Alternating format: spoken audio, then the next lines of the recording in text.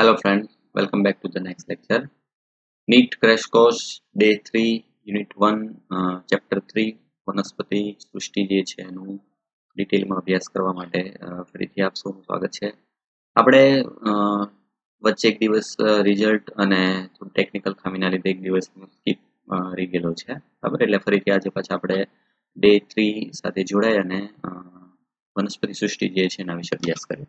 સૌથી પહેલા સ્ટાર્ટિંગ કરતા પહેલા આજે આપણે અભ્યાસ કરી રહ્યા છે ડે થ્રીમાં યુનિટ જે છે એમાં ચેપ્ટર નંબર થ્રી વનસ્પતિ સૃષ્ટિ. એટલે ચેપ્ટર નંબર થ્રી અને ચેપ્ટર નંબર ફોર બંને જે છે એ થોડા થિયરિકલ પાર્ટ છે, એટલે એમાં ટેક્સ્ટ બુક જે છે એની ઓરિએન્ટેડ વધારે તમારે યાદ રાખવાનું છે. બેટે પેટી લાઈન જે છે એમાંથી પૂછાય છે અને ડિટેલ વધારે ભાગ જે છે એમાં એડ કરવાનો નથી. એટલે આપણે ફટાફટ જે ટેક્સ્ટ બુક ઓરિએન્ટેડ ભાગ જે છે એને ક્વિક રિવિઝન કરી બરાબર? એટલે લેટ્સ સ્ટાર્ટ સૌથી પહેલા, જો હવે આગળના ભાગમાં આપણે ઓલરેડી અભ્યાસ કરી ગયા છે. વનસ્પતિ સૃષ્ટિની શરૂઆતમાં તમે ટેક્સ બુક જે છે પ્રમાણે જોશો, તો વનસ્પતિ સૃષ્ટિ જે છે એની શરૂઆત કરવા માટે સૌથી પહેલા જે છે શરૂઆત આવે છે વનસ્પતિ સૃષ્ટિ જે છે એનો ઇતિહાસ. વનસ્પતિ સૃષ્ટિનો ઇતિહાસ જે છે એમાં અલગ અલગ સાયન્ટિસ્ટના નામ છે. કોણે કઈ વર્ગીકરણ પદ્ધતિ આપેલી છે. એ આપણે બધું ભણી ગયા છીએ. જેમ કે કુદરતી જે છે વર્ગીકરણ પદ્ધતિ કૃત્રિમ વર્ગીકરણ પદ્ધતિ જે છે એના વિશે, બરાબર? જાતિ વિકાસકીય વર્ગીકરણ પદ્ધતિ. આ બધા ભાગ જે છે એ આપણે ઓલરેડી આગળ ચર્ચા કરી લીધેલી છે. બરાબર? એટલે ફરીથી હું ભાગ જે છે એને રિપીટ નથી કરતો. એટલે સૌથી પહેલા વનસ્પતિ સૃષ્ટિ જે છે એને મુખ્ય જે છે કયા કયા વિભાગમાં વહેંચી શકાય? વનસ્પતિ સૃષ્ટિ જે છે ને આગળ આપણે ભણી ગઈ પ્રમાણે મુખ્ય બે વિભાગ છે. એક ભાગ થશે અપુષ્પી બીજો ભાગ થશે સપુષ્પી અપુષ્પી વાળા ભાગ જે છે એને ફરીથી ત્રણ વિભાગ જે છે એમાં વિભાજિત કરી જેમ કે પહેલો આવશે એકાંગી બીજી આવશે દ્વિઅંગી અને ત્રીજી આવશે ત્રિઅંગી જ્યારે સપુષ્પી જે છે એમાં ફરીથી બે વિભાગ અનાવૃત બીજધારી અને આવૃત જેમાં આવૃતમાં ફરીથી પાછા બે વિભાગ પડે છે. એક છે એક દળી, પછીનો ભાગ દ્વિદળ આ બધા જે છે એના વિશે આપણે ફરીથી પાછા ટૂંકમાં જે છે એક એક ભાગ એકાંગી દ્વિઅંગી ત્રિઅંગી બધા ભાગ જે છે એમાં કરવાનો છે. એમાં સૌથી પહેલો ભાગ જે છે આવશે એકાંગી વાળો ભાગ, જેમાં સૌથી મેઇન મુખ્ય ઉદાહરણ છે લીલ. બરાબર? આપણે આગળ અભ્યાસ કરી ગયેલા છે ઓલરેડી ઓસવાલ્ડ ટીપો નામના સાયન્ટિસ્ટ જે છે એને કીધેલું હતું એકમાત્ર એ વનસ્પતિ છે જે ભ્રૂણ વિહીન છે, યાદ રાખજો. બધે બધી વનસ્પતિ જે છે ભ્રૂણધારી વિભાગમાં આવે. સિવાય એક ખાલી કઈ છે? તો કે એકાંગી. એ ભ્રૂણ વિહીન છે. એમાં કોઈ ભ્રૂણ જેવી રચના જે છે નિર્માણ થતું નથી. એટલે સૌથી પહેલા આપણે સ્ટાર્ટ કરીએ આજનો ટોપિક જે છે એ લીલ બરાબર? તો ટેક્સ્ટ બુક જે છે એના બાગ મેઇન બધા લીધેલા છે, ફટાફટ જોઈ લઈએ. જો તો, લીલ સૌથી પહેલો બિન ભાગ જે આવે વનસ્પતિની ખાસિયત. હરિદ્રવ્ય ધરાવતા સાદા, સુકાયક સ્વયંપોષી અને મહદઅંશે જલદ જે છે સજીવો છે. સાદા, સુકાયક. સુકાયકનો મતલબ શું થશે? તો કે એવી રચના કે જેમાં કોઈ મૂળ પ્રકાંડ પર્ણ જે છે ચોક્કસ અંગોનું નિર્માણ થયેલું નથી. બરાબર? માત્ર એક તાતણા જેવા ભાગ જે છે, એનું નિર્માણ થાય છે. સ્વયંપોષી બરાબર, જાતે પ્રકાશલેષણ કરી શકે અને મોટા ભાગે પાણીમાં રહેનારા સજીવો. તે અન્ય નિવાસસ્થાનો નિવાસ સ્થાનો જે છે, એમાં પણ વિવિધતા જોવા મળે છે. એટલે બધી જગ્યાએ હોય છે. જેમ કે ભેજવાળા પથ્થરો જમીન અને લાકડા, એ બધા ભાગમાં પણ જોવા મળે. એમાંની કેટલીક આપણે ભણી ગયા, લીલ અને ફૂગ સાથે જે છે એ સહજીવનમાં લાઇકેનનું નિર્માણ કરે, બરાબર? અને અમુક જે છે પહાડોને રીજ પડે. પ્રાણીઓ સાથે પણ કેટલીક લીલ જે છે જોડાયેલી હોય. એના પછી લીલ જે છે એના સ્વરૂપ અને કદ જે છે એમાં ખૂબ વિવિધતા છે. જેમ કે અલગ અલગ પ્રકાર, જેમ કે ઉદાહરણ આપેલું છે, ક્લેમિડોમોનાસ જે છે એ એક કોષીય લીલ છે. જ્યારે વોલબોક્સ જે છે એ વસાહતી અને યુલોથ્રિક્સ અને સ્પાયરોગાયરા. બરાબર? એ તંતુમય હોઈ શકે. એટલે અહીંયાથી તમારે ઉદાહરણ જે છે યાદ રાખવાના છે. એ લીલ જે છે એના મુખ્ય ત્રણ પ્રકાર થશે. એમાં સૌથી પહેલો જે છે આવશે એક કોષી સ્વરૂપ. તો કયો આવશે? ક્લેમિડોમોનાસ. વસાહતી સ્વરૂપ જે છે કયું થશે? વોલ્વોક્સ. જેમાં લીલ જે છે આવી રીતે સમૂહમાં બધા એક વસાહત જે છે નિર્માણ કરે. અને ત્રીજો પ્રકાર જે છે તાતણામય જેવી રચના, તંતુમય. બરાબર? એમાં આવશે બે ઉદાહરણ. એક છે યુલોથ્રિક્સ અને બીજું પાયરોગાય ઉદાહરણ થઈ ગયા. થોડીક દરિયાઈ લીલ જે છે એના સ્વરૂપ. ઉદાહરણ તરીકે દરિયાઈ ઘાસ, કેલ્પ જે છે, વિરાટ વનસ્પતિ દેહનું નિર્માણ કરે છે. એટલે અમુક એટલી બધી જે છે વિશાળ કદની લીલ છે કે જે દરિયાના પેટાળમાં એક વિરાટ જે છે એનું સ્વરૂપ નિર્માણ કરે. એમ ઉદાહરણ તરીકે આવશે ઘાસ અથવા તો શબ્દ યાદ રાખજો. ક્યાલ એના પછી આવે છે મેઇન મહત્વનો ટોપિક જે છે, એ છે પ્રજનન. લીલ જે છે એમાં પ્રજનન કઈ રીતે થાય? તો લીલમાં પ્રજનન માટે અલગ અલગ મેઇન મુખ્ય ત્રણ પ્રકાર. આગળ ચર્ચા કરી લીધેલી છે. વાનસ્પતિક, અલિંગી અને લિંગી. ફરક શું આવશે બધામાં? તો જે વાનસ્પતિક પ્રકાર જે છે એમાં મોટા ભાગે કયો કયો ભાગ આવે? તો વાનસ્પતિકમાં મેઇન આવશે ભાજન, અવખંડન અને કલિકા સર્જન. મતલબ વનસ્પતિનો કોઈ ટુકડો વાળો ભાગ જે છે એમાંથી નવા ટુકડા નિર્માણ થાય. તે વાનસ્પતિક, અલિંગી જે છે એમાં મેઇન આવશે, એમાં અલગ અલગ પ્રકારના બીજાણુ જે છે એના દ્વારા એમાં અલગ અલગ જે છે એ સજીવ નિર્માણ થાય. અને લિંગી પ્રજનમાં બે જન્યુઓનું જોડાણ. એક એક જોઈએ. સૌથી પહેલું વાનસ્પતિક પ્રજનન, તો વાનસ્પતિકમાં પહેલો આવશે અવખંડન બરાબર? જેમાં દરેક ખંડ સુકાઈમાં વિકાસ પામે છે. જેટલા લીલ જે છે, બરાબર? દાખલા તરીકે પણ લીલ જે છે, એના જેટલા જેટલા ટુકડા કરશું, બરાબર? એ સ્વતંત્ર એક નવા જે છે, લીલનું નિર્માણ કરી શકે. એ થઈ અલિંગી પ્રજનન વિવિધ પ્રકારના બીજાણુના સર્જન દ્વારા થાય છે. જ્યાં જ્યાં અલિંગી પ્રજનન આવે, ત્યાં શબ્દ યાદ રાખવાનો છે બીજાણુ. બરાબર? માત્ર જે બીજાણુ પ્રકાર જે છે, એ માત્ર શેમાં આવશે? અલિંગી પ્રજનમાં જે મુખ્યત્વે ચલ બીજાણુ હોય છે મતલબ કે જેમાં જેમાં લીલ જે છે એમાં બીજાણુ હોય બધા ચલિત હોય છે. એટલે કે કશાધારી બીજાણુ જોવા મળે. તેઓ કશાધારી ચલાયમાન હોય છે અંકુરિત થઈને નવા છોડમાં પરિણમે. ત્રીજો પ્રકાર થશે લિંગી પ્રજનન જેમાં બે જન્યુઓનું જોડાણ એટલે કે ફ્યુઝન જે છે જોવા મળે. આ પ્રકારના જન્યુઓ જે છે એ કશાધારી અને કદમાં એક સરખા બરાબર? જો જે કશાધારી છે અને કદમાં એક સરખા હોય ઉદાહરણ તરીકે આપ્યું યુલોથ્રિક્સ અને કશા વિહીન બરાબર? અને એક સરખા કદમાં હોય પણ આપેલું છે અચલિત. તો એમાં ઉદાહરણ આવશે સ્પાયરોગાયર બરાબર? એટલે આ જે છે એ પ્રકાર શેના આધારે થશે? તો આપણે દર્શાવી દઈએ એના પ્રકાર જે છે એમાં. મેઇન સૌથી પહેલા જે છે પ્રકાર આવશે જન્યુ. જન્યુ જે છે એના બે પ્રકાર. સૌથી મેઇન પહેલા પ્રકાર આવશે સમજન્યુ. બીજો પ્રકાર થશે વિષમજી. ત્રીજો પ્રકાર જે છે એમાં પણ આપેલો છે એ થશે અંડજન્યુ હવે જો સમજન્યુમાં પાછા ફરીથી બે પેટા પ્રકાર. બંને જન્યુઓ સમાન તો હોય બરાબર? પણ બંને પાછા કશાધારી હોય, ચલિત હોય. અને બીજા કશા વિહીન ઉદાહરણ યાદ રાખવાના છે, સમજન્યુમાં કશાધારી બંને આવેલા હોય ને કદમાં પણ સમાન હોય. એવું ઉદાહરણ થશે યુલોથ્રિક્સ અને જેમાં કશા નથી, બરાબર? એટલે કે અચલિત છે, પણ દેખાવમાં બંને સમાન છે, બરાબર? એનું ઉદાહરણ થશે સ્પાયરોગાયરા, બરાબર? આ પ્રકારના પ્રજનનને સમજન્યુ પ્રકારનું પ્રજનન કહે છે, અને આવા જન્યુ હોય એને કહેવાય સમજન્યુ. એટલે ઉદાહરણ યાદ રાખવાના છે, સમજન્યુ પ્રકારનું પ્રજનન કઈ લીલમાં જોવા મળે? બે ઉદાહરણ, સ્પાયરોગાયરા, બીજું યુલોથ્રિક્સ. યુલોથ્રિક્સમાં કશા છે, સ્પાયરોગાયરામાં કશા નથી. નેક્સ્ટ યુડેરેનાની કેટલીક જાતિઓમાં કદમાં અસમાન એટલે કે સમાન ન હોય, તેવા બે જન્યુઓનું જોડાણ થાય, તેમને અસમજન્યુ અથવા વિષમજન્યુ, એનિસોગેમસ જે છે પ્રકારનું પ્રજનન કહે છે. બરાબર? જેમાં બંને જન્યુ નરજન્યુ માદા જન્યુ બંને કદમાં સમાન ન હોય એ કહેવાય વિષમજન્યુ. બરાબર? જે બે માંથી એક જે છે મોટા કદના અચલિત, માદા જન્યુ અને નાના કદના ચલિત જન્યુઓનું જોડાણ થાય તો તેને અંડજન્યુ પ્રકારનું પ્રજનન કહે છે. ઉદાહરણ તરીકે વોલ્વોક્સ અને ફ્યુક્સ. એટલે વિષમજન્યુ અને અંડજન્યુકમાં તફાવત શું છે? જો તો વિષમજન્યુક વાળા ભાગ જે છે, એમાં બંને કશાવાળા હોઈ શકે અથવા કશા વગરના હોઈ શકે, પણ બંનેના કદ સમાન ના હોય. પણ અંડજન્યુક જે છે, એમાં અંડ શબ્દ પરથી શબ્દ આવે અંડકોષ બરાબર? તો એમાં જે ફરજિયાત અંડકોષ હોય, એ હંમેશના માટે કશા વિહીન જ હોય. અને મોટા કદનો હોય. મોટા કદના જન્યુ અને સાથે કશા વિહીન એટલે અચલિત. અચલિત અને મોટા કદના જે અંડકોષ ધરાવતા હોય શું થઈ ગયું? એક પ્રકારના માદા જન્યુ. તો એવા પ્રકારના પ્રજનન. અને સામેની બાજુ નરજન્યુ કેવું હોય? નરજન્યુ ફરજિયાત નાના કદના હોય અને ચલિત. બરાબર? એટલે કે એમાં કશા જે છે આવેલી હોય. એને કહેવાય અંડજન્યુ પ્રકારનું પ્રજનન. એટલે સૌથી પહેલા ઉદાહરણ થઈ ગયા. સૌથી પહેલો પ્રકાર આવશે સમજન્યુ પ્રકારનું પ્રજનન કઈ લીલમાં થાય? તેમાં બે ઉદાહરણ આવશે. આગળ આવી ગયું પ્રમાણે સ્પાયરોગાયરા અને યુરોથિક્સ, બરાબર? વિષમજન્યુ જે છે અથવા અસમજન્યુ, એમાં ઉદાહરણ આવશે. યુડોરીના, આ તમારે ટેક્સ્ટ બુક જે જૂની હોય એમાં અહીંયા ક્લેમિડોમોનાસ આપેલું હતું એટલે ચેન્જ કરી નાખજો. અને ત્રીજો પ્રકાર અંડજન્યુ, એમાં ઉદાહરણ આવશે વોલવોક્સ અને ફ્યુક્સ. આકૃતિ આપેલી છે, બરાબર? એક વિભાગ આપણે ભણવાના છે એમાં લીલી લીલ જે છે, એમાં રાતી લીલ, બદામી લીલ જે છે, એ અને લીલી લીલ ત્રણે ત્રણ જે છે, એની આકૃતિ. બરાબર આપણે પછી જોઈ લઈએ. પેલા ડિસ્કસ કરી લઈએ. એટલે આ પ્રમાણે તમારે એક ચાર્ટ જે છે આપીને દર્શાવી શકો. જેમ કે પ્રકાર જોયા જો લીલમાં લિંગી પ્રજનન. લિંગી પ્રજનન જે છે, એના મુખ્ય ત્રણ પ્રકાર.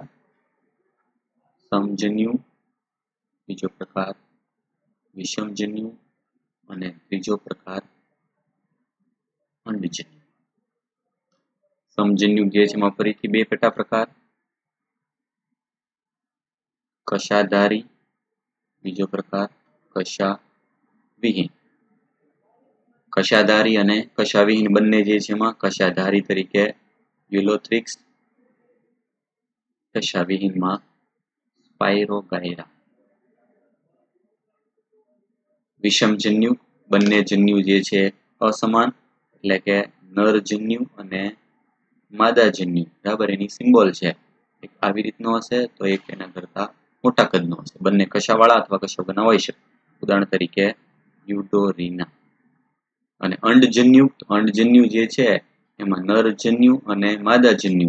એમાં નરજન્યુ જે છે ફરજિયાત ચલિત નાના કદના હોય અને માદાજન્યુ ફરજિયાત જે છે, અચલિત અને મોટા કદના હોય બરાબર? આગળ આપણે ડિસ્કસ કરેલી છે ઉદાહરણ તરીકે વોલબોક્સ અને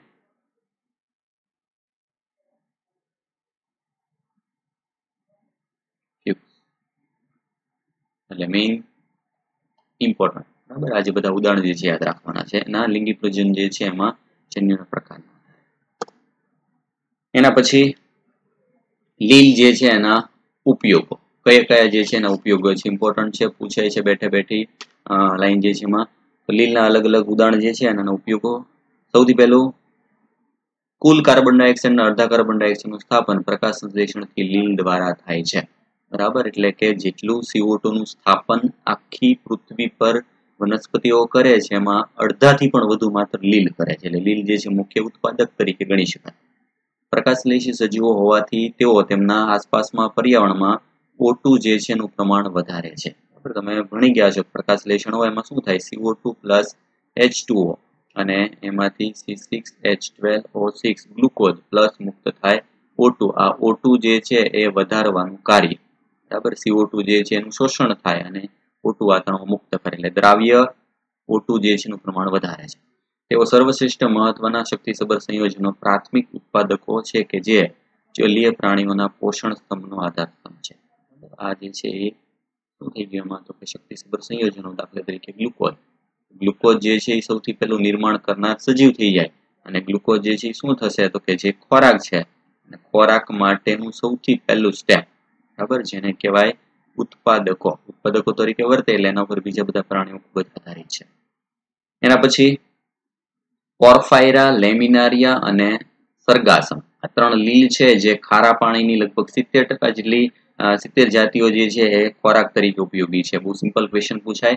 ખોરાક તરીકે વપરાતી લીલના નામ કયા ઓરફાયરા લેમિનારિયા અને સરફાસ. એવી રીતે કેટલીક બદામી લીલ જે છે, બ્રાઉન અથવા રાતી લીલ જે છે, જે વધુ માત્રામાં હાઇડ્રોકોલાઇડ એટલે કે જલગ્રાહક અલીલ પદાર્થ ઉત્પન્ન કરે છે. દાખલા તરીકે આલજી બદામી કે કથ્થાઈ લીલ અને કેરાજીન, જે લાલ લીલ છે, જે વ્યવસાયિક રીતે ઉપયોગી બરાબર? એવા હાઇડ્રોકોલાઇડ પદાર્થોનો મતલબ કે જે પાણીનું શોષણ કરીને ફૂલી શકે. બરાબર? મોટા ભાગે આપણે જેને જેલી કહીએ છીએ બાબા બરાબર? ખાવા માટેની જે જેલી આવે છે. એવા જેલી જેવા ઘટકનું નિર્માણ કરનારા લીલ છે. એમાં બે પ્રકારના ઉદાહરણ છે. એક રસાયણ છે, એમાંનું આલ્જીન, બીજો ભાગ જે છે, કેરાજીન. યાદ શું રાખવાનું છે? આલ્જીન જે છે બદામી કે કથ્થાઈ લીલ. બરાબર? એમાંથી મળે છે. બરાબર? સાઇનોફાઇસી બરાબર? અને કેરાજીન જે છે, એ લાલ રીલ લીલ. બરાબર? એટલે કે રોડોફાઇસ એમાંથી મળતી લીલ છે. એના પછી અગર એ જેલિડિયમ અને ગ્લેસિલારિયામાંથી મળતું એક ઉત્પાદન છે. બરાબર? આઈએમપી પૂછાઈ ગયું છે કેટલી વખત નીટમાં. અગર અગર જે છે એક જેલી માધ્યમ, તમને ખ્યાલ છે બાયોટેકનોલોજીમાં એનો ખૂબ ઉપયોગ છે. બેક્ટેરિયા જે છે એમાં સંવર્ધન માધ્યમ તરીકે ઉપયોગી છે. બેક્ટેરિયાના સંવર્ધન માધ્યમ તરીકે. સંવર્ધન માધ્યમ તરીકે જે છે પીસીઆર પદ્ધતિ જે છે એમાં agarose gel electrophoresis. Agarose gel electrophoresis. આ બધી પદ્ધતિ જે છે, એમાં માધ્યમ તરીકે શું હોય તો અગારોજનો મતલબ થાય અગર અગર એક જેલી જેવો પદાર્થ. શેમાંથી મળે છે? જેલિડિયમ અને ક્રિસિલારી. બરાબર? નામની જે બે લીલ છે, એમાંથી આ મળતા ઘટક છે. એવું છે, જો જે સૂક્ષ્મ જીવાણુઓની વૃદ્ધિ અને આઈસ્ક્રીમ તથા જેલીની બનાવટમાં પણ તે ખૂબ ઉપયોગી છે. એના પછી ક્લોરેલા અને સ્પાયરુલિના બરાબર? એક કોષીય પ્રોટીન સભર લીલ, જે અવકાશયાત્રી જે છે એનો પૂરક આહાર છે. ખોરાક તરીકે વપરાતી પણ કેવી? એક કોષીય. એક કોષીય એવા પ્રકારના કોષો જેમાં વધારે માત્રામાં પ્રોટીન હોય અને એનો ખોરાક તરીકે ઉપયોગ થાય. ઉદાહરણ તરીકે ક્લોરેલા અને સ્પાયરુલિન બરાબર? એના પછી મેઇન ત્રણ વિભાગ ભણીએ રાતી લીલ જે છે, લીલી લીલ અને બદામી લીલ. બરાબર? તો એમાં ક્લોરોફાઇસી થિયોફાઇસી થોડોફાઇસી એક એક જોઈએ. સૌથી પહેલો વિભાગ જે છે જોઈએ એમાં પહેલો વિભાગ આવશે ક્લોરોફાઇસી એટલે કે રાતીલી. જો, સૌથી પહેલા તો નામને આધારે ખ્યાલ આવી જાય, ક્લોરોનો મતલબ થાય ક્લોરોફિલ એટલે કે એમાં લીલો રંગ જે છે શેના આધારે છે, તો કે એમાં મેઇન સૌથી વધારે રંજક દ્રવ્ય આવેલું હશે ક્લોરોફિલ. તેમનો વનસ્પતિ દેહ એક કોષીય વસાહતી તંતુમય હોઈ શકે એટલે બધા પ્રકારના સ્વરૂપ જે છે એમાં હાજર છે. ક્લોરોફિલ એ અને બી જેવા રંજક દ્રવ્યોની પ્રભાવિતા જોવા મળે. બરાબર? નીચે કોષ્ટક જે છે આપેલું છે, એમાં પરથી ખ્યાલ આવી જશે તમને એમાં રંજક દ્રવ્યો જે છે, આપણે છેલ્લે ડિસ્કસ કરીએ, એ, બી, બરાબર? પછી એ, સી જે છે, એ, ડી, એમ પ્રકાર બધામાં બદલાય છે. પ્રભાવિતામાં કયું રંજક દ્રવ્ય વધારે છે? યાદ રાખવાનું. સામાન્ય રીતે ઘાસ કે તૃણ જે છે ની જેવા લીલા રંગના દેખાય છે. રંજક દ્રવ્ય સ્પષ્ટપણે હરિતકણમાં સ્થાન પામેલા હરિતકણ નામની અંગિકામાં એમાં રંજક દ્રવ્યો આવેલા છે. જુદી જુદી જાતિઓમાં આકાર અલગ અલગ બિંબ આકાર તકતી આકાર ઝાલાકાર બરાબર કપ આકાર અને કુંતલ આકાર એવા આકાર જોવા મળે છે. એના પછી ખાસ, હરિતકણમાં પ્રોભુજકો પાયરેનોઇડ કહેવાતા એક ખાસ પ્રકારના ભાગ જે વધુ સંગ્રાહક ભાગો છે. યાદ રાખજો, પ્રોભુજક. શું છે તો કે લીલમાં આવેલી ખોરાક સંગ્રહી રચના. શેમાં આવેલી હોય?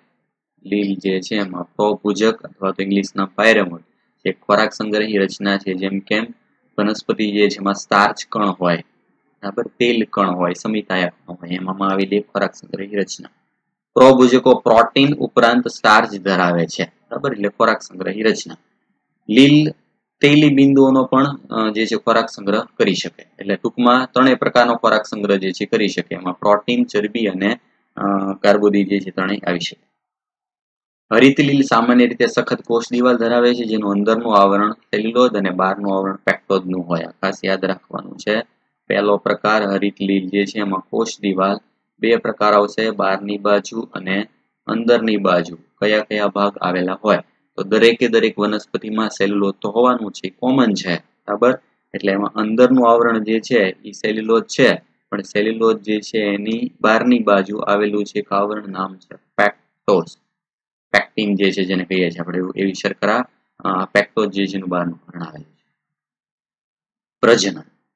વાનસ્પતિક પ્રજનન અવખંડન દ્વારા અલિંગી પ્રજનનમાં જુદા જુદા પ્રકારના બીજાણુમાં બીજાણુમાં આપેલું છે, ચલ બીજાણુ ધાનીમાં ઉદ્ભવતા કશાધારી ચલ બીજાણુ દ્વારા અલિંગી પ્રજનન થાય છે. વાનસ્પતિક પ્રજનન, તેમાં પ્રકાર થશે અવખંડન.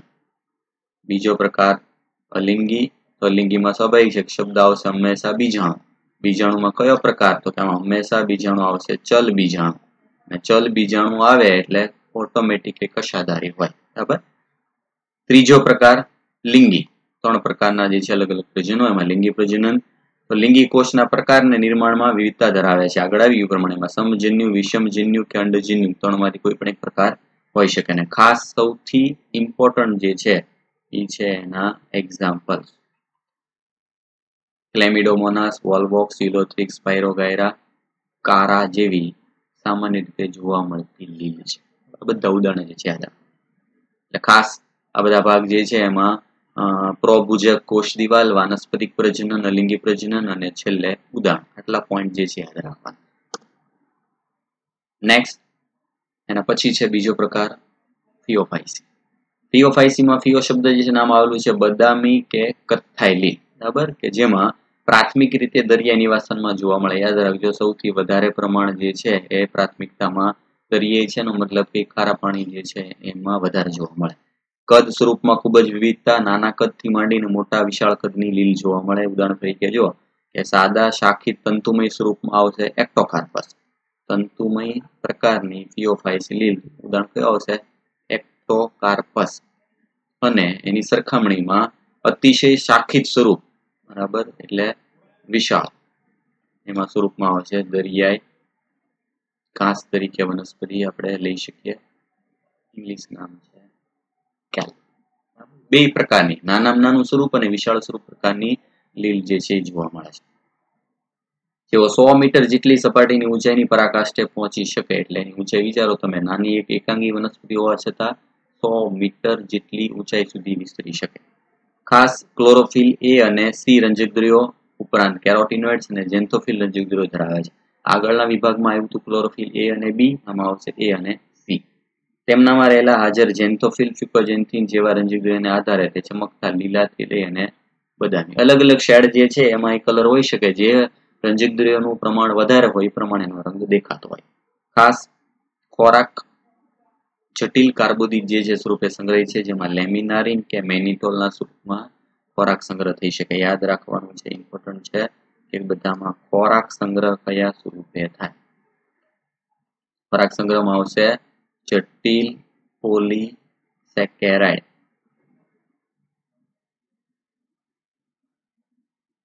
લેમિનારિન મેનિટોલ બંને. લેમિનારિન મેનિટોલ જેવા જટિલ કાર્બોદિત પોલિસેકેડ જે છે એમાં ખોરાક સંગ્રહ થાય છે. કોષ દિવાલ સિમ્પલ સેલ્યુલોઝની બનેલી, એમાં બહારની બાજુએ આલ્જિનના જિલેટિન આવરણ દ્વારા આવરિત હોય છે. ફરીથી તફાવત, જો કોષ દિવાલ જે છે, બે બાજુ, અંદરની બાજુ, બહારની બાજુ, અંદરની બાજુ એક ફિક્સ છે, કયો આવશે? એમાં ભાગ જે છે આવશે સેલ્યુલોઝ. અને બહારની બાજુ આલ્જિનનું જિલેટિન આવરણ. આગળ આગળના જે છે પ્રકારમાં શું આવ્યું હતું? પ્રકાર મેઇન હતું એમાં પેક્ટોજ એની જગ્યામાં આવશે આલ્જિન. તફાવત યાદ જીવરસમાં રંજકણો ઉપરાંત મધ્યસ્થ સ્થાને રસધાની અને કોષ કેન્દ્ર પણ જોવા મળે છે. બરાબર? લીલ જે છે તો એ પ્રકારની સુકોષ કેન્દ્રીય રચના થઈ જશે. અને વનસ્પતિ તરીકેની ખાસિયત વાળો ભાગ શું હોય? એમાં રસધાની આવેલી હોય. રસધાની ધરાવતા બધા સજીવો જે છે મોટા ભાગે પ્રકાશ હોય. વનસ્પતિ દેહ સામાન્ય રીતે હવેની રચના, સ્થાપક અંગ દ્રઢગ્રહ દ્વારા આધારક સાથે જોડાયેલો હોય છે. તે વૃંત, છત્રિકા વૃંત અને પર્ણ જેવું દેખાતું પ્રપર્ણ એટલે કે પુષ્પ પર્ણ જે છે ધરાવે છે. ખાસ એની રચના જે છે એમાં તમે આકૃતિ જો આગળ જોઈએ તો ખ્યાલ આવશે. ભાગ જે છે એમાં જો, નીચેનો ભાગ જે છે એમાં સ્થાપક અંગ એટલે આપણે વનસ્પતિનો એક મૂળ જેવો ભાગ, પછી છત્રિકા વૃંદ પ્રકાંડ જેવો ભાગ અપુષ્પ પર્ણ, એટલે પર્ણ જેવો ભાગ. પર્ણ પ્રકાંડ અને મૂળ. એના જેવી, ખરેખર પર્ણ, પ્રકાંડ કે મૂળ એકેય નથી, પણ એના જેવી દેખાતી રચનાઓ જે છે, એમાં જોવા મળે. એના પછી, વાનસ્પતિક પ્રજનન, આગળની જેમ સેમ અવખંડન, અલિંગી પ્રજનનમાં ચલિત બીજાણુ છે, પણ જુઓ, દ્વિકશાધારી. બરાબર? એમાં જે બીજાણુ આવેલા છે બીજાણુમાં બે કશા આવેલી છે. મતલબ કે લિંગી પ્રજનન લિંગી પ્રજનન કોના દ્વારા થાય? તો એક બીજાણુ, બીજાણુમાં આવી રીતની બે કશા આવેલા છે. એટલે યાદ રાખજો, દ્વિકશાધારી બીજાણુ. અને કશાધારી હોય એટલે સ્વાભાવિક છે કે એમાં ઓટોમેટિક જે છે એ પ્રચલન ક્ષમતા આવી જાય. જે નાસ્પતિ આકારના અને બે અસમાન પાશવી રીતે જોડાયેલી શાખાઓ ધરાવે છે. બરાબર? યાદ રાખો. અને પછીનો પ્રકાર લિંગી પ્રજનન સેમ સમજન્યુ, વિષમજન્યુ, અંડજન્યુ, જન્યુઓના જોડાણ પાણીમાં કે અંડધાની જે છે, અંડજન્યુ વનસ્પતિમાં થઈ શકે. અંડધાની પ્રકાર ખાલી શેમાં? તો અંડજન્યુ પ્રકારમાં. બાકી બધામાં જન્યુનું જોડાણ જે છે, પાણીની અંદર ફલન તરીકેનું માધ્યમ થશે પાણી. જન્યુ નાસ્પતિ આકારના અને બે પાશવી રીતે જોડાયેલી કશાઓ. એટલે જન્યુ પણ બે કશા ધરાવતા હશે. ખાસ ઇમ્પોર્ટન્ટ જે છે એક્ઝામ્પલ એક્ટોકાર્પસ ડિક્ટિઓટા લેમિનારિયા સરગાસમ અને ફ્યુક્સ બરાબર બધી આગળ જ આવી બધી આકૃતિ યાદ રાખવાની છે. દરેકે દરેક ભાગ જે છે એમાં તમને ક્વેશ્ચન પૂછાય. કે આ ભાગ જે છે દાખલા તરીકે પહેલું આપેલું છે આ વોલ બોક્સ બીજો પ્રકાર જે છે આપેલું છે યુલોથ્રિક્સ આ બંને ભાગ જે છે એને એ વાળો ભાગ જે છે એ થશે આગળ એવી હરિતલી. બીજો ભાગ જે છે એમાં ત્રણ આપેલા છે લેમિનારિયા બીજો ભાગ ફ્યુક્સ અને ત્રીજું જે છે ડિક્ટિવટ ત્રણેય જે છે થશે બરાબર અને ફરીથી છેલ્લી બે જે છે આપણે ભણવાની બાકી છે રાતી એટલે આકૃતિમાં જે જે ભાગ આપેલા છે, આકૃતિના આધારે એના લક્ષણ પણ પૂછી છે. નેક્સ્ટ ત્રીજો પ્રકાર જે છે થશે રોડોફાઇસી અથવા પ્રાતિલી લાલ રંગ જે છે એની વધારે પ્રભાવિતાના આધારે એનો પ્રકાર. કારણ કે દેહમાં લાલ રંગનું રંજક દ્રવ્ય આર ફાઇકોઇરિથ્રિનની પ્રભાવિતા છે. કયા રંજક દ્રવ્યના લીધે લાલ રંગ દેખાય? તેમાં રંજક દ્રવ્ય સૌથી વધારે આવેલું છે ફાઇકોઇરિથ્રિન મોટા ભાગે રાતી લીલ દરિયાઈ છે, જે હુંફાળા પાણીમાં અને ખારા પાણીમાં વધારે હોય. પાણીની સપાટી નજીક વધુ સારા પ્રકાશિત વિસ્તારમાં મહાસાગરોમાં ઊંડાએ બરાબર, જ્યાં સાપેક્ષ રીતે ખૂબ ઓછો પ્રકાશ હોય તેવા વિસ્તારમાં બંને જગ્યાએ જોવા મળે છે. એટલે વધારે ઊંડાઈવાળા ભાગમાં, બરાબર, અને જ્યાં ઓછો પ્રકાશ હોય, ઓછો પ્રકાશ ઇનડાયરેક્ટલી એવું થયું કે દરિયા જે છે, એના પેટાળા. એવી જગ્યાએ અને સારો પ્રકાશિત વિસ્તાર હોય ત્યાં પણ બધી જગ્યાએ આવી લીલ જે છે જોવા મળે. રાતી લીલનું સુકાયક બહુકોષીય છે આ લાઈન યાદ રાખજો. મોટાભાગની લીલ જે છે એમાં એક કોષીય ઉદાહરણ આવી ગયું જેમ કે ક્લેમિડોમોનાસ. આ લીલ જે છે એ સુકોઈક બંધારણ ધરાવે સુકાયક નો મતલબ શું થશે? એમાં મૂળ પ્રકાંડ પર્ણ જેવી રચના જે છે કોઈ વિકસિત નથી, પણ એ એક બહુકોષીય રચના ધરાવે છે. તેમાંની કેટલીક જટિલ દૈહિક આયોજન ધરાવે છે. ખોરાક તરીકે સંગ્રહમાં ફ્લોરિડિયન સ્ટાર્ચ ત્રણ અલગ અલગ વિભાગ જે છે આવશે, બરાબર? આમાં જો લીધેલું છે, એટલે આ કોષ્ટક જે છે એ મોસ્ટ ઇમ્પોર્ટન્ટ થશે. આના પરથી ત્રણે ત્રણ ભાગ જે છે યાદ રાખવાના છે. ક્લોરોફાઇસી પ્રકાર જે છે ફિયોફાઇસી અને રોડોફાઇસી ત્રણેયની સરખામણી જે છે એમાં કયા કયા ભાગ? છે બંધારણમાં એમાઇલોપેક્ટિન અને ગ્લાયકોજનને ઘણું મળતું આવે છે. એમાઇલોપેક્ટિન અને ગ્લાયકોજન શું થશે? તો એમાઇલોપેક્ટિન જેવું સામાન્ય સ્ટાર્ચ અને આમાં ફરક શું હોય તો આમાં બ્રાન્ચ આવેલી હોય. ગ્લુકોઝ જે છે એની બ્રાન્ચ જેવી રચના. ખાલી સ્ટાર્ચ હોય તેમાં ગ્લુકોઝની અશાખિત પોલિમર શૃંખલા હોય. અશાખિત હોય તો ખાલી સ્ટાર્ચ થશે, બરાબર? જ્યારે એની સરખામણીમાં આ થશે ફ્લોરિડિયન સ્ટાર્ચ ફ્લોરિડિયન સ્ટાર્ચ જે છે એમાં કેવી આવશે? ગ્લુકોઝની શાખિત પોલિમર શૃંખલા. બરાબર આ બંનેમાં તફાવત. સ્ટાર્ચ ખોરાક સંગ્રહ તરીકે શેમાં હોય તો પહેલી પ્રકારની જે લીલ જે છે, બરાબર? હરિત લીલ છે એમ. આ પ્રકાર જે છે, રોડોફાઈ છે, એમાં ફ્લોરિડિયન સ્ટાર્ચ આવેલી છે અને બીજો પ્રકાર આવ્યો એમાં કયો પ્રકાર આવી ગયો? હવે લેમિનારિન અને જે આગળ આવી ગયું છે પ્રમાણે લેમિનારિન પ્લસ મેનિકો મિક્સ ના થાય. ત્યારબાદ રાતિલીલ સામાન્ય રીતે અવખંડન દ્વારા વાનસ્પતિક પ્રજનન. જો અવખંડન પ્રકાર વાનસ્પતિક બધામાં કોમન છે. બીજું, આ ખાસ ઇમ્પોર્ટન્ટ અલિંગી પ્રજનનમાં અચલિત બીજાણુઓ. બરાબર? એમાં જન્યુઓ અને બીજાણુઓ બંને અચલિત છે. એનો મતલબ શું થશે? ડાયરેક્ટલી કશાવિહીન. એક જ એવો પ્રકાર છે. બરાબર? લીલનો, જેમાં અંદરના બીજાણુ કે જન્યુ બધા કશાવિહીન છે. અચલિત જન્યુ દ્વારા લિંગી પ્રજનન. બરાબર? અને લિંગી પ્રજનન અંડજન્યુ પ્રકાર થાય છે. અંડજન્યુ પ્રકાર એનો મતલબ શું થશે? કે જેમાં મોટા કદનું જે છે અંડ અંડકોષ એટલે કે માદાજન્યુ હશે, નાના કદનું નરજન્યુ પશ્વફલન અને વિકાસ થાય છે પોલીસાઇફોનિયા ઉદાહરણ અને ઓરફાયરા, લેસિલારિયા અને જેલિડિયા. અગર અગર જેલ માટે જવાબદાર છે. ઇનડાયરેક્ટલી ક્વેશ્ચન પૂછે અગર અગર જેલ મેળવવા માટે કયા પ્રકારની લીલ જે છે એનો થાય તો પ્રકાર આવશે. પ્રોટોફાઇસ હવે જો ખાસ ઇમ્પોર્ટન્ટ આ કોષ્ટક જે છે, સૌથી પહેલા રંજક રહ્યો, જો ખાલી તફાવત શું છે? B C D A common ત્રણે ત્રણ જે છે, એમાં ક્લોરોફાઇસી ફિયોફાઇસી રોડોફાઇસી એમાં ક્લોરોફિલ એ બી બીજામાં એ સી ત્રીજામાં એ ડી ઉપરાંત આમાં ફ્યુકોજેન્થિન છે અને આમાં ફાઇકો ઇરિથ્રિન ઇરિથ્રોનો મતલબ થશે લાલ રંગ. એ લાલ રંગ માટેનું જવાબદાર રંજક ખોરાક સંગ્રહમાં બદલાય સ્ટાર્ચ મેનિટો લેમિનારીન અને આમાં આવશે ફ્લોરિડિયન સ્ટાર્ચ અથવા એનું બીજું નામ લઈ શકીએ આપણે એમાઇલોપેક્ટિન આપણે એમાઇલોપેક્ટિન જેવી રચના જે ધરાવે છે. ઉપરાંત, કોષ દિવાલમાં વિવિધતા, સેલ્યુલોઝ સેલ્યુલોઝ ઉપરાંત આમાં ઉમેરવાનું છે, એક સેલ્યુલોઝ તો છે જ તે, બરાબર? પણ એની ઉપરાંત એક બીજો આવશે આમાં પેક્ટોઝ બીજોમાં સેલ્યુલોઝ અને આલ્જીન અને ત્રીજામાં સેલ્યુલોઝ પેક્ટિન અને પોલિસલ્ફેટ એસ્ટરની બનેલી કોષ દિવાલ. આ ખાસ. આપેલું નથી. કશાધારી બંને છે. બેથી આઠ સમાન અને અગ્રસ્ત છે. આમાં બે કશા હોય, બંને અલગ અલગ કદની છે અને પાશવી મતલબ બે સાઈડ એક એક આવેલી હોય. આ ખાસ. રોડોફાઇસી પ્રકારની લીલમાં કશા હોતી નથી. બરાબર? અને નિવાસ એટલે આ થઈ ગયું લીલ જે છે. હવે એના પછી બીજો વિભાગ. જો એના પછી બીજો વિભાગ આવશે દ્વિઅંગી. બરાબર? દ્વિઅંગી વાળો ભાગ જે છે એ દ્વિઅંગીમાં સૌથી પહેલા નામને આધારે થશે દ્વિઅંગી એટલે જેમાં મુખ્ય મૂળ પ્રકાંડ પર્ણ જે છે એમાંના બે અંગો મુખ્ય જે છે આવેલા હોય. બરાબર? સૌથી પહેલા બે વિભાગ જે છે એમાં થશે. એક પહેલું છે મોસ અને બીજો ભાગ જે છે થશે લીવરવટ દ્વિઅંગી વનસ્પતિમાં મોસ લીવરવટ બેનો સમાવેશ થાય જે કઈ જગ્યાએ? તો કે ટેકરીઓમાં ભેજયુક્ત જે છે છાયાપ્રિય વિસ્તારમાં સામાન્ય વિકાસ પામતી જોવા મળે. ખાસ કરીને તેને વનસ્પતિ સૃષ્ટિના ઉભયજીવી તરીકે પણ ઓળખી શકાય યાદ રાખજો. બરાબર? જેમ પ્રાણીઓમાં ઉભયજીવી તરીકે જે છે વિભાગ આવે, જે પાણીમાં અને જમીનમાં રહી શકે, બરાબર, એવી જ રીતે વનસ્પતિઓમાં ઉભયજીવી જે છે એમ્ફીબિયન્સ તરીકે કોણ?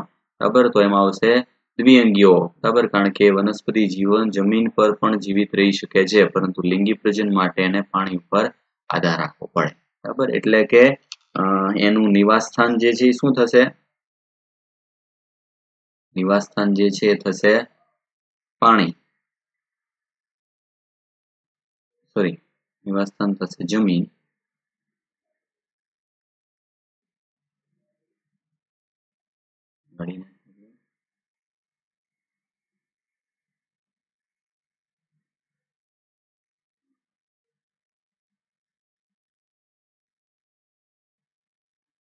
જમીન લિંગી પ્રજનન જે છે, એના માટેની જરૂર પાણી જમીન અને પાણી બંને ઉપર.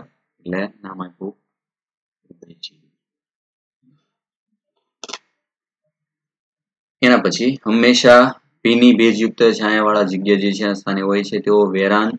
ખડકો અને જમીન પર વનસ્પતિના માટે મહત્વનો ભાગ ભજવે. યાદ અનુક્રમણ માટે જરૂરી એનો મતલબ શું?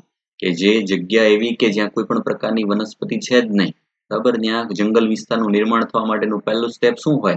ત્યાં સૌથી પહેલા શરૂઆત જે છે, એમાં આ મોસ કે લીવરવટ વાળા ભાગ જે છે એનું નિર્માણ થાય એટલે પહેલું સ્ટેપ બરાબર કે જ્યાં કોઈ સજીવો હતા જ નહીં એટલે પૂછે શબ્દ જો અહીંયા વેરાન ઉજ્જડ ખડકો પર સૌથી પહેલા નવા સજીવ લાવનાર જે છે વનસ્પતિ એ થશે દ્વિઅંગી. એની રચના જોઈ લઈએ. દ્વિઅંગીનો વનસ્પતિ દેહ લીલના વનસ્પતિ દેહ કરતા ખૂબ જ વિભેદિત છે. વિભેદિતનો મતલબ શું થશે કે એનો આકાર જે છે લીલ કરતા થોડો વધારે સ્પષ્ટ છે. એ સુકાઈ જેવો અને સુકાય પથરાયેલું કે ટટ્ટાર જે છે હોઈ શકે છે. એક કોષીય કે બહુકોષીય મૂલાંગો દ્વારા આધારક સાથે જોડાયેલું હોય છે. આકૃતિ જોઈ એટલે ખ્યાલ આવશે. જો તમને એના ભાગ જે છે એમાં મૂલાંગો જેવી રચના. મૂલાંગો એટલે શું થશે? મૂળ જેવી રચના. મૂળ નથી, પણ મૂળ જેવી રચના છે. બીજો ભાગ જે છે આ પર્ણ જેવી રચના. મૂળ જેવી અને પર્ણ જેવી રચના બે જોવા મળે, એટલે એને બે અંગો જે છે એના જેવી રચના દેખાય, એટલે નામ આપ્યું એને દ્વિઅંગી. એટલે થશે બહુકોષી મૂલાંગો. તેઓ સાચા મૂળ પ્રકાંડ કે પર્ણ ધરાવતા નથી. બરાબર? તેઓ મૂળ જેવી અને પર્ણ જેવી કે પ્રકાંડ જેવી રચનાઓ ધરાવી શકે છે. એટલે બે અંગો જે છે મોટા ભાગે જોવા મળે. સૌથી પહેલા દ્વિઅંગીનો મુખ્ય વનસ્પતિ દેહ એકકીય છે એટલે કે તે જન્યુ ઉત્પન્ન કરે છે. તેથી તેને જન્યુજનક કહે છે. આ જન્યુજનક અને બીજાણુજનક જે છે એના માટે એક ચાર્ટ યાદ રાખવાનો છે. બધા માટે કોમન કયો કયો ભાગ શું હશે? તો વનસ્પતિ સૃષ્ટિ.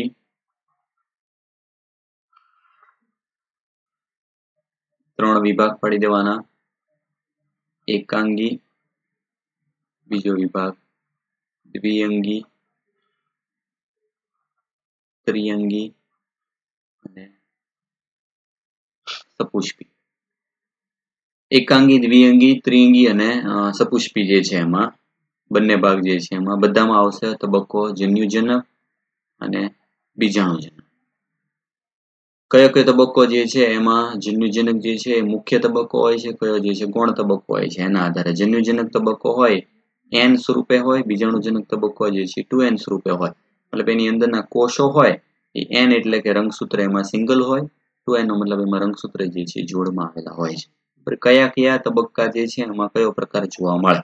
મુખ્ય તબક્કો હોય, એ પ્રકારનું એનું શરીર જોવા મળતું હોય. તો એકાંગી વનસ્પતિ જે છે એમાં જન્યુજનક તબક્કો જે છે મુખ્ય થશે.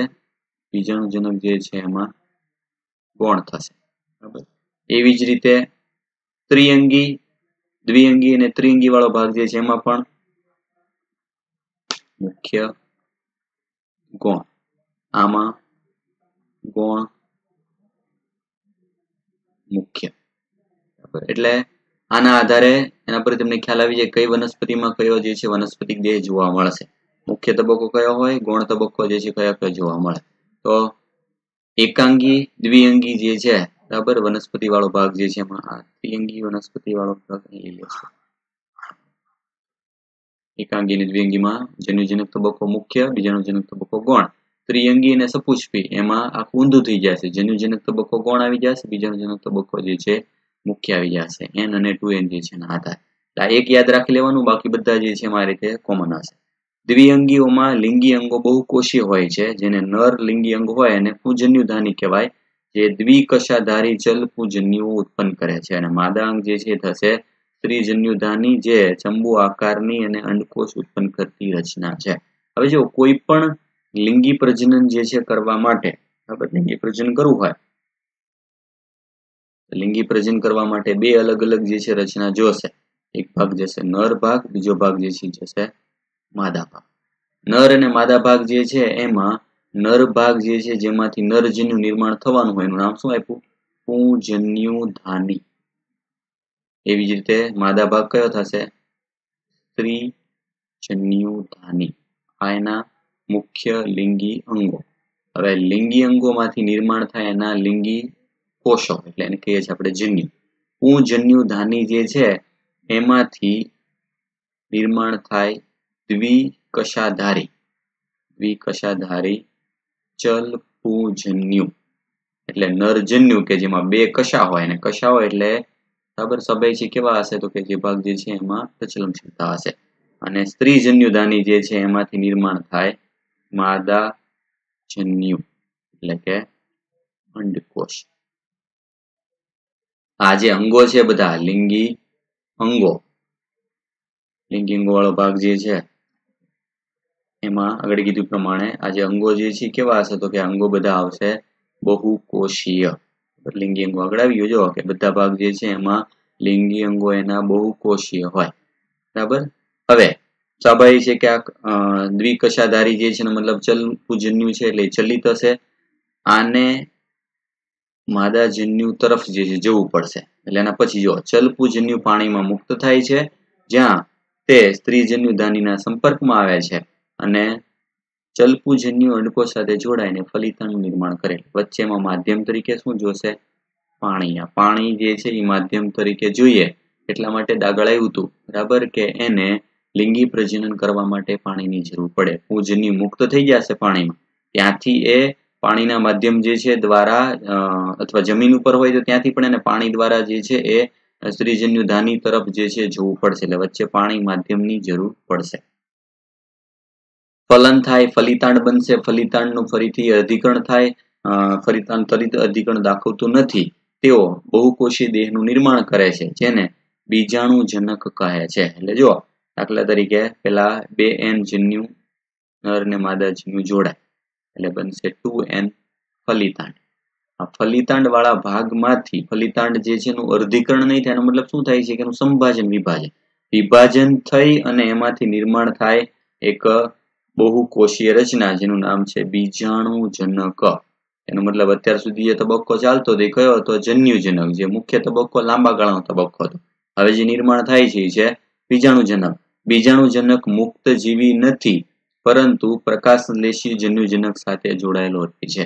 એ મુખ્ય વનસ્પતિ વાળા ભાગ જે છે એની સાથે જોડાઈ જાય, બરાબર? અને એના પરથી તેનું પોષણ જે છે મેળવે. તેમાંથી તેનું પોષણ મેળવે અને એમાંના કેટલાક કોષો અર્ધીકરણ પામીને પછી એકકીય બીજાણુ જે છે નિર્માણ કરશે. એટલે જો, હવે બીજાણુજનક વાળો ભાગ કેવો હશે? Two N. ટુ એન વાળા ભાગનું અર્ધીકરણ થશે. અર્ધીકરણ થઈ અને એમાંથી એકકીય બીજાણુ મુક્ત થાય. આ બીજાણુ ફરીથી પાછા અંકુરણ થઈ અને નવી વનસ્પતિ દેહનું નિર્માણ કરી શકે. આપેલું છે એમાં જો ભાગ. આ જે ભાગ જે છે એની અંદર દાખલા તરીકે સ્ત્રીજન્યુ ધાની ધર પૂજન્યુ ધાની ધર આ બધા ભાગ જે છે શું થશે? એના લિંગી અંગો. લિંગી અંગો વાળા ભાગ જે છે કયા તબક્કા દરમિયાન જોવા મળે? એ બધો ભાગ હશે જન્યુજનક તબક્કા દરમિયાન. એમાંથી જે બીજાણુ નિર્માણ કરશે, બરાબર બીજાણુ નિર્માણ કરતો ભાગ જે છે એ બીજાણુજનક તબક્કો એનો ગણાશે. એવી રીતે આમાં પણ જો પ્રાવર પ્રાવરદંડ વાળો ભાગ જે છે, આ બધા એના થશે લિંગી ભાગ.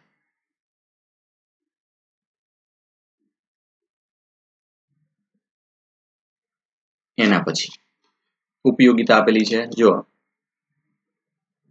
દ્વિઅંગી જે છે એનો ઉપયોગ.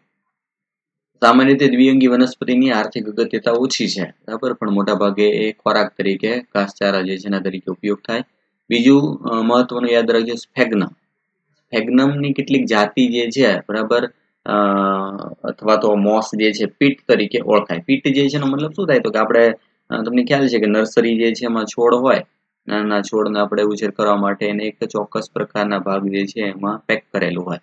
પેક કરેલા વાળા ભાગ જે છે ને અંદરના ભાગમાં ભેજ જે છે એ રહિત રાખવા, ભેજ જે છે એ રહિત ના થઈ જાય. એની અંદર એક માટી જે છે નિર્માણ કરવામાં આવે, માટી ભરેલી હોય. સુકાયેલો એક જે છે ફૂકા જેવો ભાગ, બરાબર? પણ એ જે માટી વાળો ભાગ હોય મોટા ભાગે હોય પીટ. પીટનો મતલબ શું થાય કે ભેજ જે છે એને જાળવી રાખે. કાર્ય શું? ભેજ જાળવી રાખે, કારણ કે પાણીનો સંગ્રહ કરી શકે.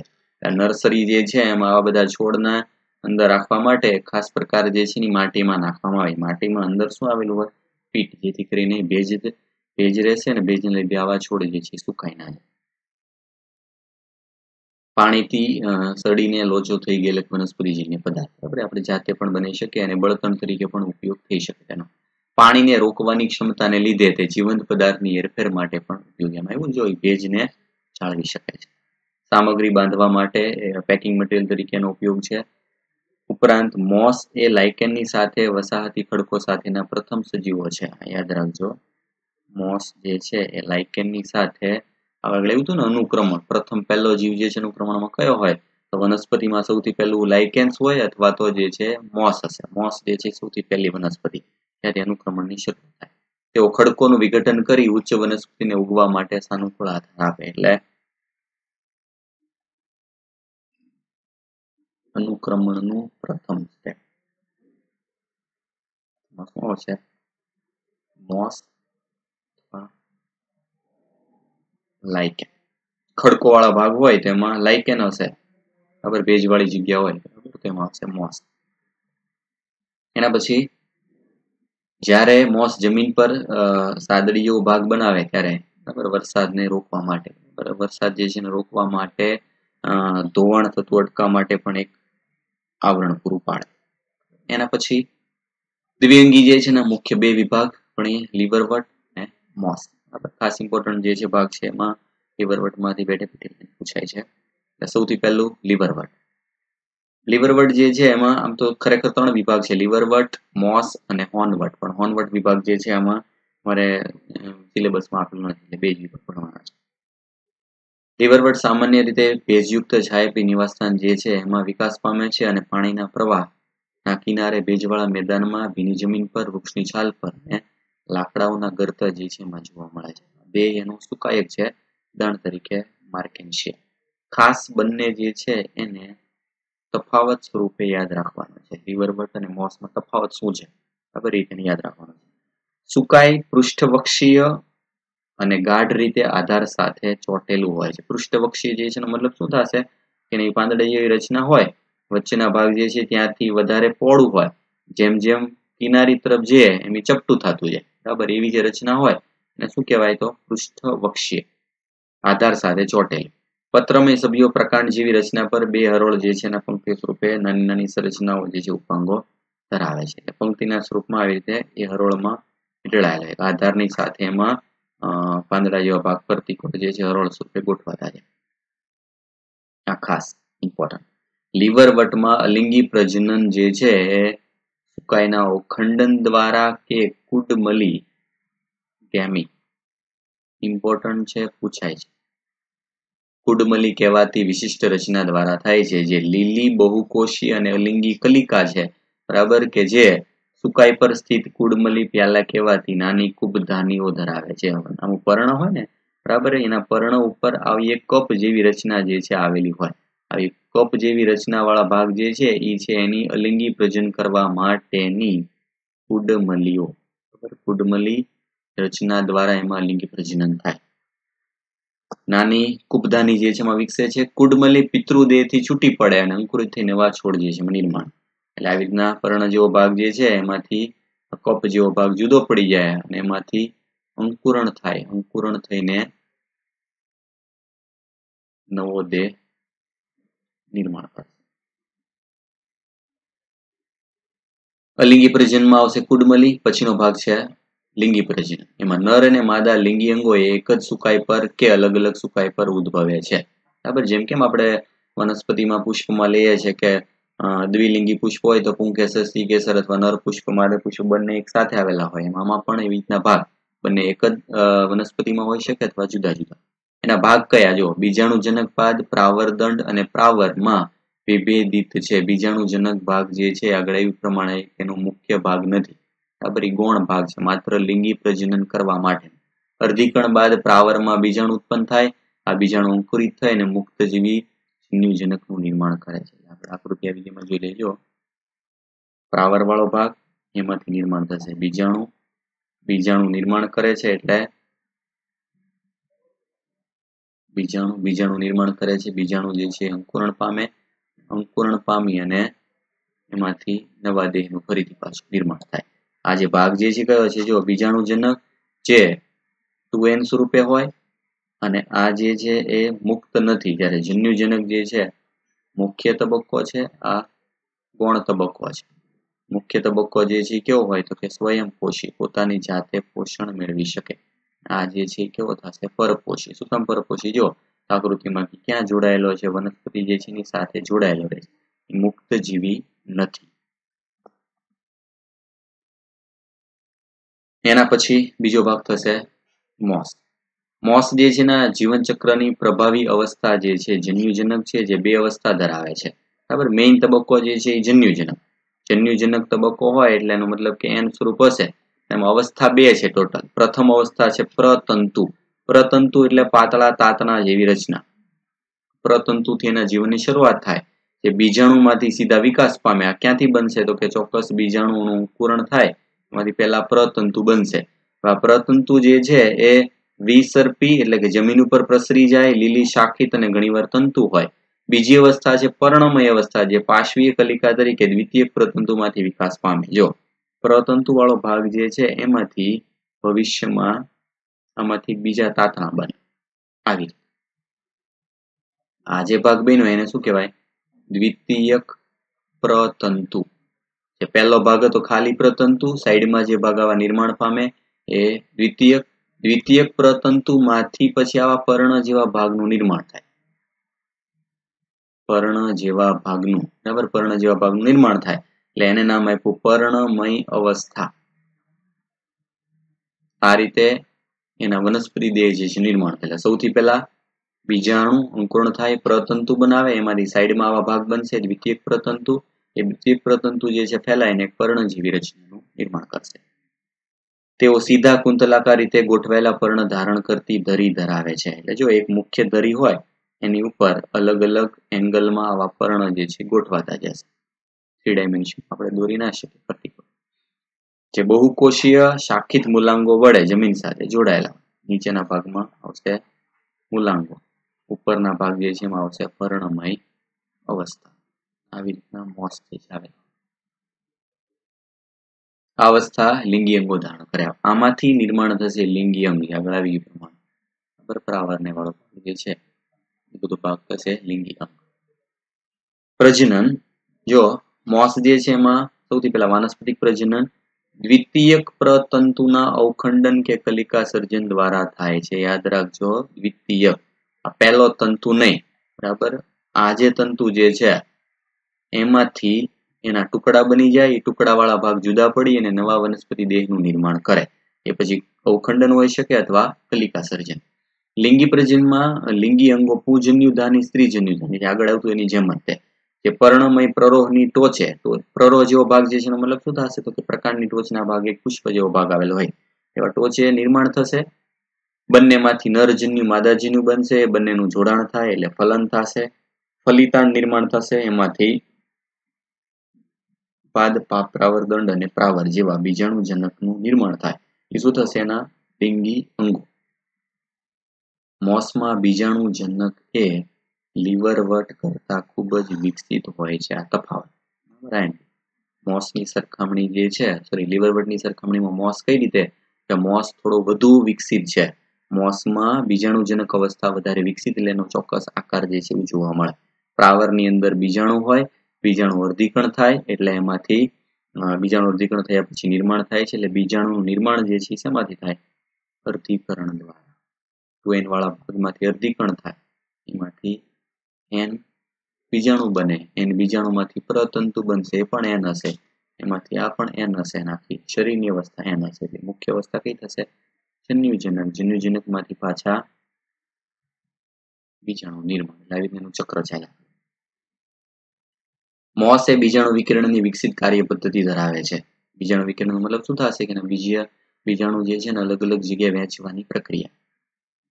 ઉદાહરણ આપેલા છે. ફ્યુનારિયા પોલિટ્રિકમ અને નેક્સ્ટ એના પછી છે વનસ્પતિમાં ત્રીજો વિભાગ ત્રિઅંગીઓ ટેરિડોફાઇટ ટેરિડોફાઇટ જે છે એમાં ખાસ કરીને એકાંગી દ્વિઅંગી કરતા કઈ રીતે જટિલતા છે, કઈ રીતે અલગ પડે છે? સૌથી પહેલું વનસ્પતિ જે છે એમાં અશ્વપુચ્છ હોર્સ ટેલ ઘોડાની પૂંછડી જેવો આકાર ધરાવે છે, એટલે નામે પૂછે હોર્સ ઇંગ્લિશ નામ પણ સાથે યાદ રાખવાનું છે ઇક્વી સેટમ અને બીજું છે ફર્ન, હંસરાજ. જો હોર્સ ટેલ આ રીતે ફરની જેમ જે છે વિટલાયેલો ભાગ છે. અને હંસરાજ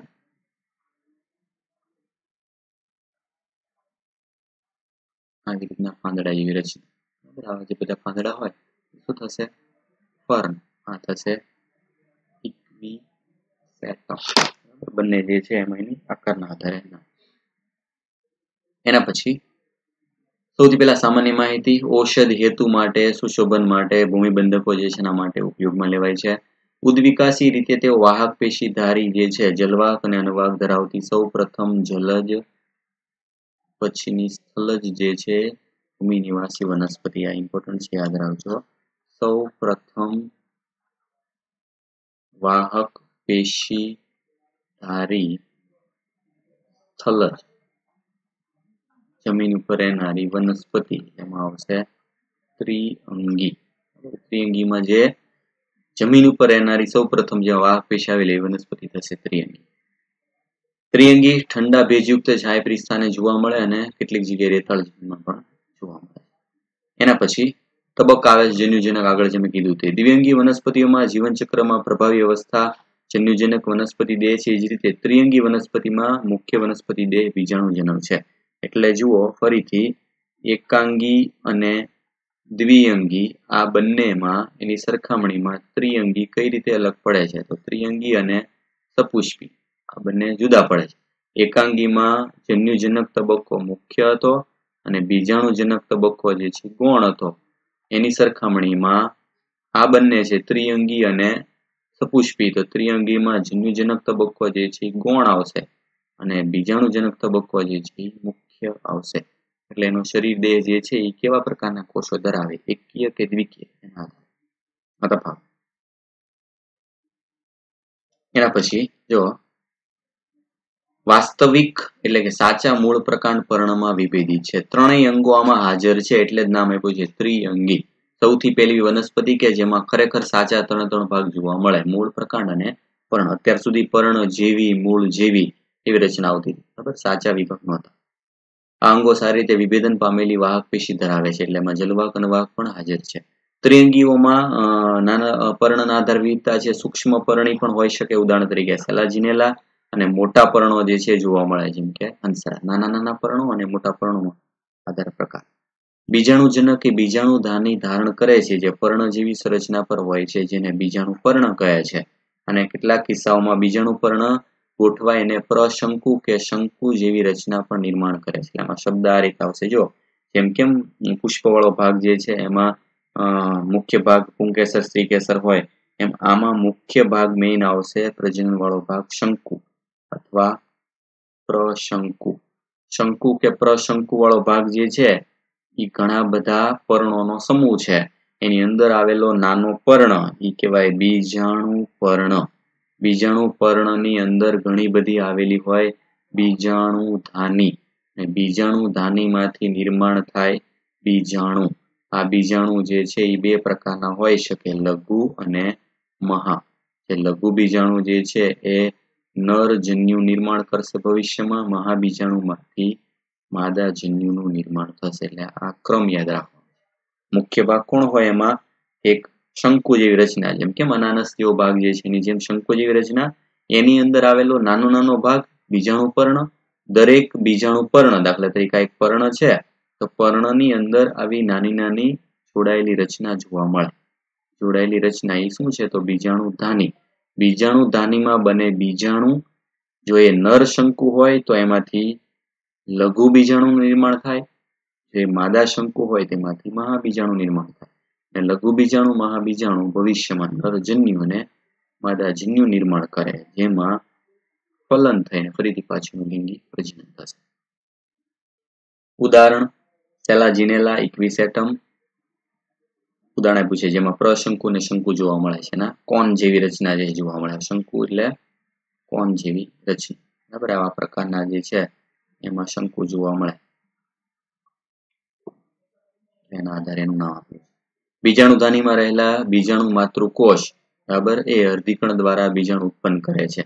આ બીજાણુ અંકુરિત થઈ અને નરી આંખે ન જોઈ શકાય તેવા અસ્પષ્ટ નાના પણ બહુકોષીય મુક્તજીવી અને પ્રકાશસંશ્લેષી સુકાયક એવા જન્યુજનકમાં વિકાસ પામે છે. એટલે જો મેઇન ભાગ કોષ કયો છે?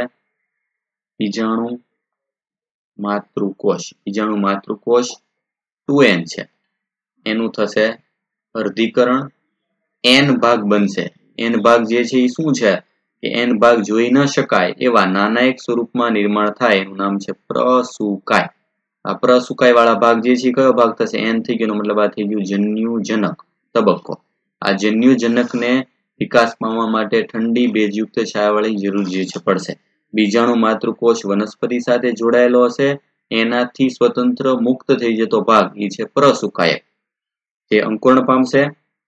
આ ખાસ સીમિત જરૂરિયાત અને ફલન માટે પાણીની આવશ્યકતાના કારણે ત્રિઅંગી વનસ્પતિઓ જે છે એનો ફેલાવો ખૂબ જ મર્યાદિત હોય. ફલન કરવા માટે પાણીની જરૂર પડે, જો પાણી ન મળે તો આવી વનસ્પતિમાં ફલન જ ના થાય. એટલે આવી વનસ્પતિ જે છે બહુ વધારે પ્રસરતી નથી. એટલે એની જગ્યા જે છે પૂરતી સીમિત છે. જન્યુજનકે નર અને માદા લિંગી અંગો ધારણ કરે છે, જે અનુક્રમે પૂજન્યુધાની, સ્ત્રીજન્યુધાની કહેવાય છે. બરાબર? અને આ બંને જન્યુઓ મુક્ત થયા બાદ તેમની સ્ત્રીજન્યુધાનીના મુખ સુધી પહોંચવા માટે પાણીની આવશ્યકતા રહે છે. જો જન્યુજનક વાળા ભાગ, એમાં બે ભાગ બનશે પૂજન્યુ ધાની, આમાં બનશે સ્ત્રીજન્યુધાની પૂજન્યુધાનીમાંથી નિર્માણ થશે નર જન્યુ, જે ચલિત હશે. આમાંથી નિર્માણ થશે માદા જન્યુ, એટલે કે અંડકોશ આમાંથી એને ત્યાં પહોંચવા માટે જરૂર પડશે માધ્યમ તરીકે પાણી. પાણી માધ્યમ જે છે જરૂરી છે. ફલન થાય, બંનેના ફલનને લીધે ફલિતાણનું નિર્માણ થાય, જે બહુકોષીય સારી રીતે વિભેદિત બીજાણુજનક જે નિર્માણ કરશે. એટલે જો હવે બંને જન્યુ જોડાણ ફલન થયું, ફલનના લીધે બની ગયું ફલિતાંડ ફલિતાંડ ફરીથી પાછું કેવું બની જશે two N, A two N વાળા ભાગ જે છે, એ વિભેદિત થઈ અને એમાંથી આખા શરીરની રચના બનાવે જેને કહેવાય બીજાણુજનક. બીજાણુજનક બની ગયું.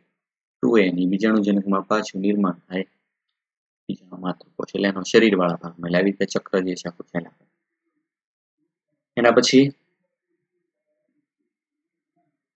ત્રિઅંગીઓમાં મહદઅંશે બીજાણુ એક સરખા હોય છે એટલે કે જો બંને બીજાણુ સમાન હોય તેને કહેવાય સમબીજાણુ ઇમ્પોર્ટન્ટ છે વનસ્પતિ જે છે કહેવાય ઉદાહરણ તરીકે સેલાજીનેલા અને સાલ્વિની એવી પ્રજાતિ કે જેમાં બે પ્રકારના બીજાણુ ઉત્પન્ન થાય છે એટલે સમબીજાણુકમાં ઉદાહરણ આવશે હંસરાજ અને સેલાજીનેલા અને સાલ્વિનિયા બંને જે છે એમાં લઘુ અને મહા એવા બે જુદા જુદા પ્રકારના બીજાણુ હોય. એને કહેવાય વિષમ બીજાણુ. વિષમ બીજાણુકમાં ઉદાહરણ આવશે સેલાજીનેલા સાલ્વિનિયા સમબીજાણુકમાં ઉદાહરણ આવશે હંસરા. મહાબીજાણુ અને લઘુ બીજાણુ અંકુરિત થઈ અને માદા અને નર જન્યુજનકમાં વિકાસ પામે છે. બંનેમાં આગળ ભાગ જે કીધું છે, બરાબર? આગળ જે મેં કીધું પ્રમાણે શંકુ શંકુ વાળા ભાગ જે છે એમાંથી બીજાણુ ધાની અને બીજાણુ ધાનીમાં બે પ્રકાર પડશે. લઘુ અને મહા. એમાંથી લઘુ વાળો ભાગ જે છે, નાના પરથી લઘુ એટલે કે નર માટે શબ્દો આવશે. મહા એટલે મોટા અને મોટા કદના હંમેશા માદા માટે આવશે. આ વનસ્પતિઓમાં માદા જનક ઓછા કે વધુ સમય માટે પિતૃ પર જળવાય છે. યાદ રાખજો, માદા જાતિ જે છે, એના માટેનું જન્યુ હોય પિતૃ સાથે જોડાયેલું રહે છે. અને માદા જનકની અંદર જ ફલિતાનું નિર્માણ થાય અને એમાં ભ્રૂણ જે છે એનું નિર્માણ થાય. આ ઘટના બીજ પ્રકૃતિ સાથે જોડાયેલી એક પૂર્વ ચિહ્ન તરીકે ગણી શકાય. આઈએમપી અને નીટમાં પૂછાય. ઉદ્વિકાસ જે છે એ માટે મહત્વનો તબક્કો, મતલબ કે આ વનસ્પતિમાંથી ભવિષ્યમાં આગળ જે છે સપુષ્પી વનસ્પતિનું નિર્માણ થયું હશે. પુરાવો કયો? બીજ ક્યાં નિર્માણ થાય? તો બીજ હંમેશા માદા પુષ્પમાં જ નિર્માણ થાય. માદા પુષ્પના બીજાશીમાં બને. માદા પુષ્પમાં જે છે એ ફળનું નિર્માણ થવું એ શું દર્શાવે છે? તો કે ત્રિંગીમાં પણ એવું જ હતું માદા જન્યુજનક જે છે અવસ્થા એ વનસ્પતિ સાથે જોડાયેલી રહે છે. જુદી નથી પડતી. એમાં ભ્રૂણનું નિર્માણ થાય ને એમાંથી ભવિષ્યમાં બીજ જેવા પ્રકૃતિ જે છે નિર્માણ થયું હશે. બરાબર? એટલે એને આપણે બીજ ધારી કહી દીધી. આ બધી જે છે કેવી છે? અપુષ્પી અથવા બીજ પીહી. એના પછી એક્ઝામ્પલ છે, ઉદાહરણ યાદ રાખો. ઇમ્પોર્ટન્ટ જોડકામાં પૂછાય. ત્રિઅંગીના ચાર અલગ અલગ વર્ગ છે. સાયલોપ્સિડા એમાં ઉદાહરણ આવશે સાયલોટમ, લાઇકોપ્સિડા સેલાજીનેલા લાઇકોપોડિયમ, સિનોપ્સિડા, ઇક્વિસેટમ, ટેરોપ્સિડામાં ટ્રાયોપ્ટેરિસ, ટેરિસ અને જોડકામાં પૂછાય. આકૃતિ આપેલી છે. જો ભાગ જે કીધું પ્રમાણે મૂળ જેવો ભાગ જે છે એમાં જોવા મળે, પ્રકાંડ જેવો ભાગ પણ જોવા મળે, પર્ણ જેવો ભાગ પણ જોવા મળે. બરાબર? આ એકવીસ એટમ જે છે એની આકૃતિ જેમાં શંકુવાળો જે છે જોવા મળે છે, એનું એક પ્રજનન જે છે અંગ ગણી શકાય. એની અંદર વાળા ભાગ જે છે મુખ્ય, આમાં પણ મૂળ પ્રકાંડ અને ત્રણ ભાગ જોવા મળે. આકૃતિ આપેલી છે. છેલ્લો ભાગ જે છે સાલવીનિયા ટેક્સ્ટ પ્રમાણે યાદ રાખવાનું.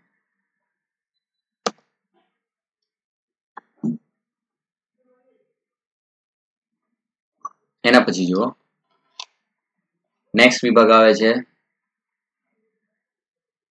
અનાવૃત બીજધારી બરાબર? જીમ્નોસ્પર્મ અનાવૃત બીજધારી નામ અનઆવૃત એટલે કે ખુલ્લા નગ્ન બીજ. બીજનું નિર્માણ થાય છે, બરાબર? અહીંથી વિભાગ શરૂ થઈ ગયો છે સપુષ્પી. આમાં બીજ જે છે, પણ બીજની ફરતે આવરણ નથી. એટલે કેવું છે? નગ્ન ખુલ્લા બીજ ધરાવતી વનસ્પતિ, જેમાં અંડક કોઈ પણ બીજાશી દિવાલ વડે આવૃત નથી અને ફલન પહેલા અને પછી એના એ જ સ્થાને ટકેલા રહે છે ફલન. પહેલા પણ ત્યાં હોય, ફલન પછી પણ ત્યાં ત્યાં રહે છે? પશ્વ ફલન પછીથી વિકાસ પામતા બીજ ઢંકાયેલા નથી, એટલે કે ખુલ્લા છે. અનાવૃદ્ધારી વનસ્પતિમાં વિવિધતામાં ઊંચા વૃક્ષો પણ હોય છે અને નાના ક્ષુપ જે છે પણ જોવા મળે. એમાં ઉદાહરણ તરીકે યાદ રાખજો, વિરાટ રેડ વુડ ટ્રી, સિકોયા, એકમાત્ર ઊંચામાં ઊંચી વનસ્પતિ તરીકે જાણીતું વૃક્ષ. બરાબર? સિકોયા સિમ્પરવિરેન્સ નામ છે રેડવુડ ટ્રી તરીકે ઓળખાય છે. બરાબર? ખૂબ ઊંચી વનસ્પતિ અનાવૃત.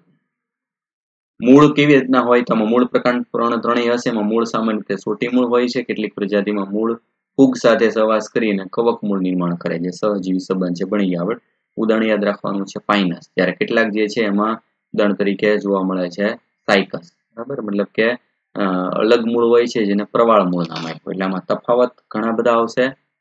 સૌથી પહેલું જે છે તફાવત જ આવી ગયો એક ભાગ, બાજુનો ભાગ થશે પાઇનસ બીજી બાજુનો ભાગ થશે સાયકસ ફાઇનસ વાળા ભાગ જે છે એમાં શું છે? સાયકસમાં શું હોય? આમાં હોય કવક મૂળ. કોનું સહજીવન છે? તો કે મૂળની સાથે ફૂગનું સહજીવન. સાયકસ જે છે એમાં અલગ પ્રકારના બીજા મૂળ જે છે, જે મૂળ અને બેક્ટેરિયાનું સહજીવન એના લોકો પ્રવાહ આમાં શું થશે? મૂળ પ્લસ ફૂગ. આમાં મૂળ પ્લસ બેક્ટેરિયા. બંને જે છે, તફાવત. બંનેનું કાર્ય અલગ અલગ છે. બરાબર, ફૂગ જે છે, એનું કાર્ય અલગ છે. આમાં બેક્ટેરિયા નાઇટ્રોજન સ્થાપન છે, જે નાઇટ્રોજન સ્થાપન કરવા માટે જવાબદાર. એના પછી પ્રકાંડ અશાખિત કે શાખિત હોઈ શકે. જો અશાખિત પ્રકાંડ જે છે, આ મૂળનો તફાત આવી ગયો. બીજો ભાગ જે છે થશે પ્રકાંડ. પ્રકાંડ જે છે, એમાં સાયકસ વાળા ભાગ જે છે, એમાં અશાખિત પ્રકાંડ છે. ત્યારે સામેની બાજુ પાઇનસ જે છે, એમાં શાખિત પ્રકાંડ જોવા મળે. સાથે સિટ્રસ પણ ઉદાહરણ છે પર્ણ, ત્રીજો, સાદા અથવા સંયુક્ત પર્ણ હોય છે. સાયકસ જે છે, એમાં પીછાકાર હોય. બરાબર, જે વળગી રહેલા હોય છે. આમાં ફરીથી તફાવત. પર્ણ વાળો ભાગ જે છે, તેમાં આપેલું છે કે મેઇન ભાગ જે છે દાખલા તરીકે લીધું કે સાદા કે સંયુક્ત પર્ણ હોય છે કે પર્ણ પ્રકાર ભણી ગયા તમે. એક જ પર્ણ વાળો ભાગ ખાલી આવેલો હોય તો સાદા પર્ણ કહેવાય. એક પર્ણની સાથે ઘણા બધા પર્ણ જોડાયેલા હોય તેને સંયુક્ત પર્ણ તરીકે આપણે ઓળખીએ. બીલી જે વનસ્પતિ છે તો એ સંયુક્ત પર્ણ કહેવાય. બરાબર? વડલાનું પાન જે છે તો એ સાદું પર્ણ કહેવાય. પર્ણવાળા ભાગ જે છે એમાં ઉદાહરણ તરીકે સાયકસ જે છે એમાં પીછાકાર સંયુક્ત પર્ણ. ભાગ જે છે એમાં સંયુક્ત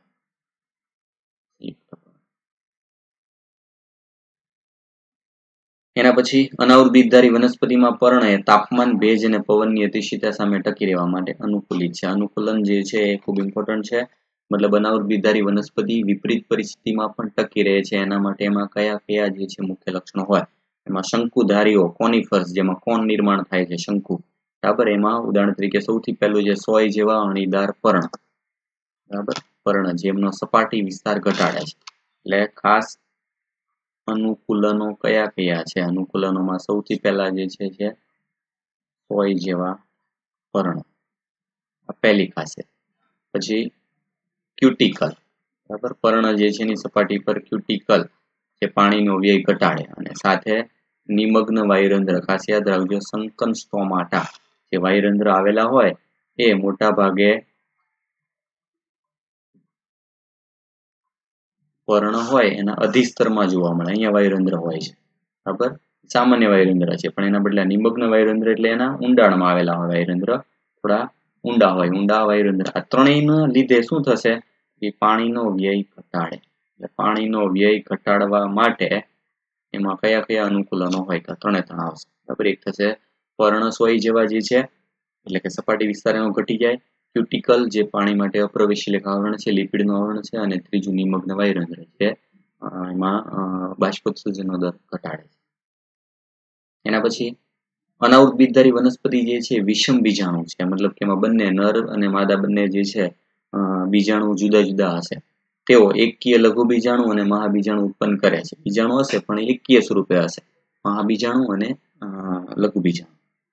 બે પ્રકારના બીજાણુ બીજાણુ ધાનીમાં ઉદ્ભવે છે, જે શિથિલ કે સંગઠિત શંકુ આકારની રચના પર કુંતલાકાર રીતે ગોઠવાયેલા બીજાણુ પર્ણ પર નિર્માણ થાય છે. એટલે ફરીથી જો આગળ સમજાયું એનો એક મેઇન ભાગ થશે શંકુ. શંકુવાળા ભાગ જે છે એ શું છે? તો કે શંકુવાળો ભાગ ભેગો થાય, એની ફરતે જે ભાગ આવેલા હોય એ હોય બીજાણુ પર્ણ બીજાણુ પર્ણ વાળા ભાગ જે છે એની અંદર આવેલા હોય બીજાણુ ધાની.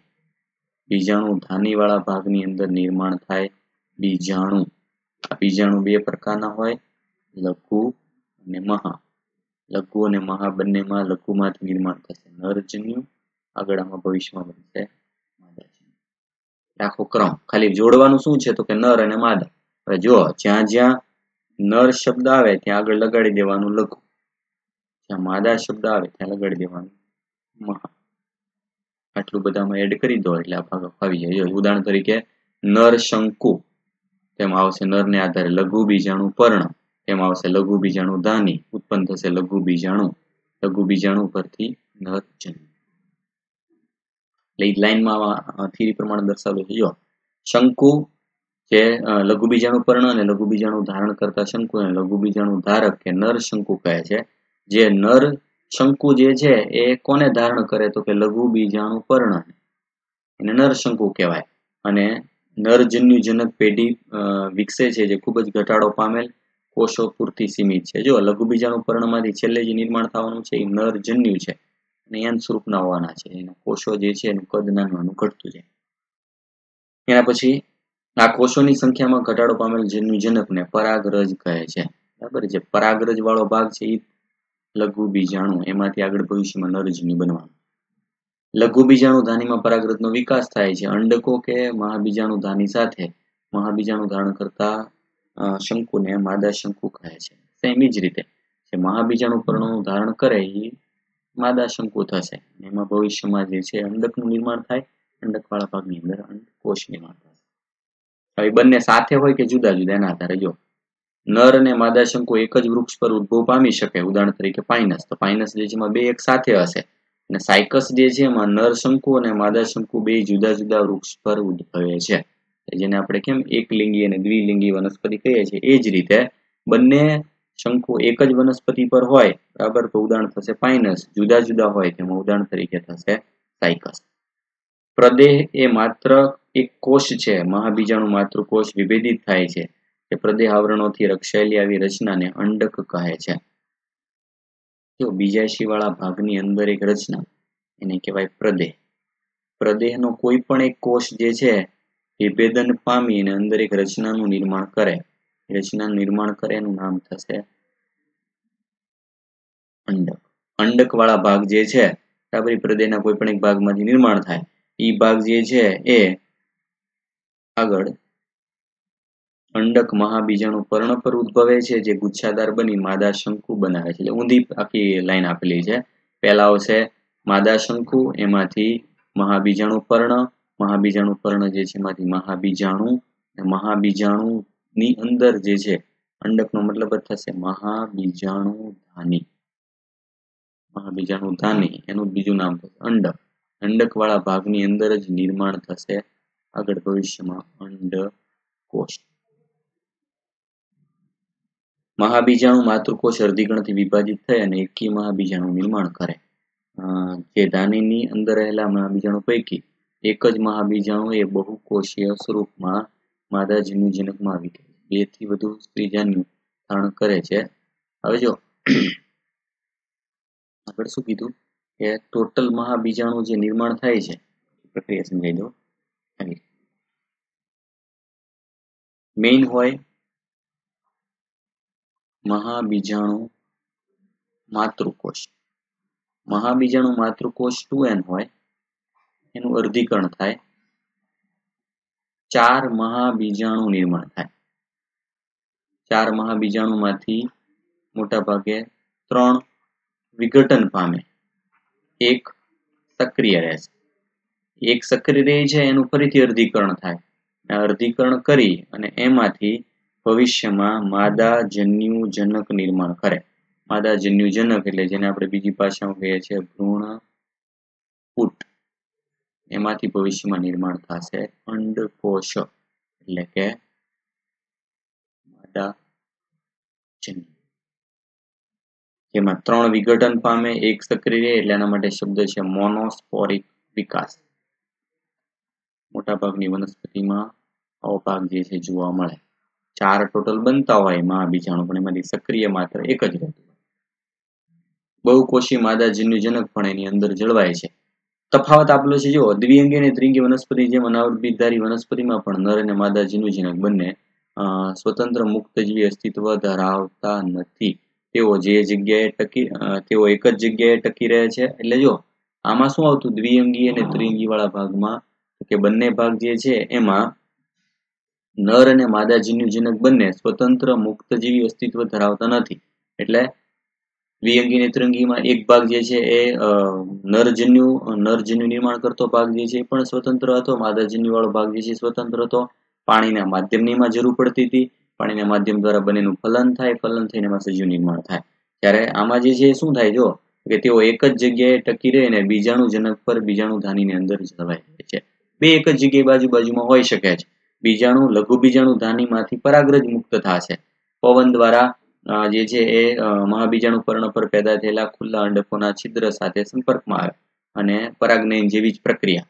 એ સ્ત્રીજન્યુ ધાનીમાં રહેલી પરાગ નલિકા જે છે બનાવે જેના દ્વારા નરજન્યુ દાખલ થાય અને એના દ્વારા ફલન થઈ, ફલન થઈને ફલિતાંડમાંથી ભ્રૂણ અને અંડકમાંથી બીજ બને. બીજની ફરતે બીજાવરણ નથી, બરાબર? એટલે આમાં બીજ ઢંકાયેલા હોતા નથી. બીજ જે છે એ ખુલ્લા હશે. એટલે આમાં પરાગનયન જેવી પ્રક્રિયા જે છે, જોવા મળે પરાગનયન જેવી પ્રક્રિયા સપુષ્પીમાં જે છે, આવૃતમાં જોવા મળે એના જમામાં શું આવે? લઘુ બીજાણુ ધાની. લઘુ બીજાણુ ધાની એમાંથી નિર્માણ થશે લઘુ બીજાણુ. આ લઘુ બીજાણુ એ જ પરાગરજ પરાગરજ પવન દ્વારા વહન થશે, કઈ તરફ જશે? કે અંડક તરફ. અંડકના છિદ્રમાં. અંડકના છિદ્રમાં દાખલ થાય. અંડક જે છે એની અંદર જોડાય. એમાંથી પરાગ નલિકા વિકસે. પરાગ નલિકા દ્વારા પરાગરજની અંદર નિર્માણ થયેલા નર જન્યુ એ માદા જન્યુ તરફ પહોંચે. બરાબર? ફલન થાય. ફલન થશે એટલે એમાંથી ફલિતાંડ, ભ્રૂણ અને ભ્રૂણ જે છે, આ યાદ રાખવાનું છે. ફલિતાંડનું ભ્રૂણમાં વિકાસ થાય અને જે અંડકો હોય એમાંથી બીજ નિર્માણ આવી બહારની બાજુનું અંડક છે, અંદરની બાજુ બનશે ફલિતાંડ પશ્વફલનની પ્રક્રિયા પૂરી થાય. અંડકમાંથી બીજ બનશે ફલિતાંડમાંથી ભ્રૂણ બનશે. ભ્રૂણ અને બીજ બંનેની ફરતે કોઈ આવરણ નથી. અંડકની ફરતે અંડક આવરણ વાળો ભાગ ન હોય. ત્યાં બીજની ફરતે બીજાવરણ જેવું કોઈ ભાગ નિર્માણ નહીં થાય. એટલે ભાગ જે છે, એને આપેલું છે અનાવૃત બીજ ધારી બરાબર? કારણ કે નગ્ન છે, બીજ ખુલ્લા હોય છે. ઉદાહરણમાં આપેલું જેમ કે ઉદાહરણ તરીકે પહેલે જે છે આપેલું છે આકૃતિ, બીજું ચિંકો. ચિંકો જે છે, યાદ રાખજો, જીવન અશ્મિ છે. જીવાશ્મી એના પછી સૌથી લાસ્ટ છેલ્લો આવશે આવૃતબીજધારી વનસ્પતિ. અનાવૃતબીજધારી વનસ્પતિમાં જ્યાં અંડકો ખુલ્લા હતા તેમ આવૃતબીજધારી વનસ્પતિમાં અંડકો ખુલ્લા નથી. કારણ કે આવૃતબીજધારી વનસ્પતિ સપુષ્પીમાં પરાગરજ અને અંડકો વિશેષ રચનામાં વિકાસ પામે જેમાં પુષ્પવાળો ભાગ જે આવ્યો છે. પુષ્પવાળો ભાગ જે છે એ ધરાવતી હોવાથી આને સપુષ્પી જે છે વનસ્પતિ તરીકે પણ આપણે ઓળખી શકીએ. બરાબર? જેમાં પુષ્પવાળો ભાગ જે છે એ ચોક્કસ એક પ્રજનન ભાગ નિર્માણ કરે આવૃત ધારીમાં, જેને આપણે પુંકેસર અને સ્ત્રીકેસર ભાગ કહીએ છીએ. સૌથી પહેલા બીજ એ ફળ દ્વારા ઘેરાયેલ છે. આગળ શું હતું? બીજ ખુલ્લું હતું, આમાં ફળની અંદર ઢંકાયેલું હોય. અલગ અલગ વિવિધતા, બરાબર? જેમ કે આમાં પણ ખૂબ નાના વનસ્પતિ માંડી, મોટી વનસ્પતિ, નાની વનસ્પતિ થશે ગુલ્ફિયા નીલગરી જે છે એ થશે સૌથી મોટી વનસ્પતિ, અનાવૃત અનાવૃતમાં જેમ આગળ તેમ આવૃતમાં વુલ્ફિયા નાની અને નીલગિરી સૌથી મોટી, જેમાં સો મીટર જેટલી ઊંચાઈ હોય છે.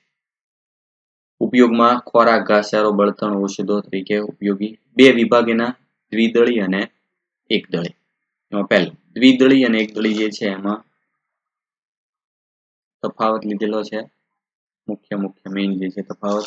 સૌથી પહેલા દ્વિદળી જે છે એમાં બીજમાં બે બીજપત્ર હોય, ચાલાકાર શિરાવિન્યાસ પર્ણમાં હોય અને પુષ્પ જે છે એ ચતુઅવયવી કે પંચાવયવી જે છે, જોવા મળે. બરાબર? મતલબ કે પુષ્પ જે છે, એની અંદર સ્ત્રી કેસર સિવાયના બધા ભાગ જે છે, એની સંખ્યા ચાર અથવા તો પાંચ હોય. ત્રણ મુદ્દા મેં જો, સૌથી પહેલો ભાગ, બે, બીજપત્રો. બીજો ભાગ જે છે, શું થશે? કે ચતુઅવયવી કે પંચાવયવી પુષ્પ હોય અને ચાલાકાર પર્ણ વિન્યાસ આની સરખામણીમાં એક બીજપત્ર, ચતુ અવયવી જે છે એની જગ્યાએ, ત્રિઅવયવી અને જાલાકરની જગ્યાએ સમાંતર પર્ણ વિન્યાસ તફાવત. પુષ્પમાં નરલિંગી અંગ પુંકેસર, બરાબર? પુંકેસર વાળો ભાગ જે છે એમાં એવી રીતે મુખ્ય ત્રણ ભાગ. એક ભાગ જે છે એ થશે તંતુ બીજો ભાગ, યોજી અને ઉપરનો ભાગ, પરાગાશય. એમાંથી ભવિષ્યમાં પરાગરજ નિર્માણ થવાનું પરાગ માતૃકોષ અર્ધીકણથી અનુસરીને લઘુ બીજાણુ ઉત્પન્ન કરે છે, જે પુખ્ત થઈને પરાગરજમાં પરિણમે છે. પરાગાશયની અંદર આવેલો હોય પીએમસી પરાગ માતૃકોષ. પરાગ માતૃકોષ જે છે, એ ટુ રચના છે. એનું અર્ધીકરણ થાય, અર્ધીકરણમાંથી ચાર સ્વતંત્ર પરાગ જે છે નિર્માણ થાય. આપણે કહીએ છીએ પરાગરજ અથવા લઘુ બીજાણુ એન સ્વરૂપે માદા લિંગિયંગ થશે સ્ત્રીકેસર જેમાં ત્રણ ભાગ બીજાશય પરાગવાહિની અને ઉપરના ભાગ પરાગ રીતે થશે.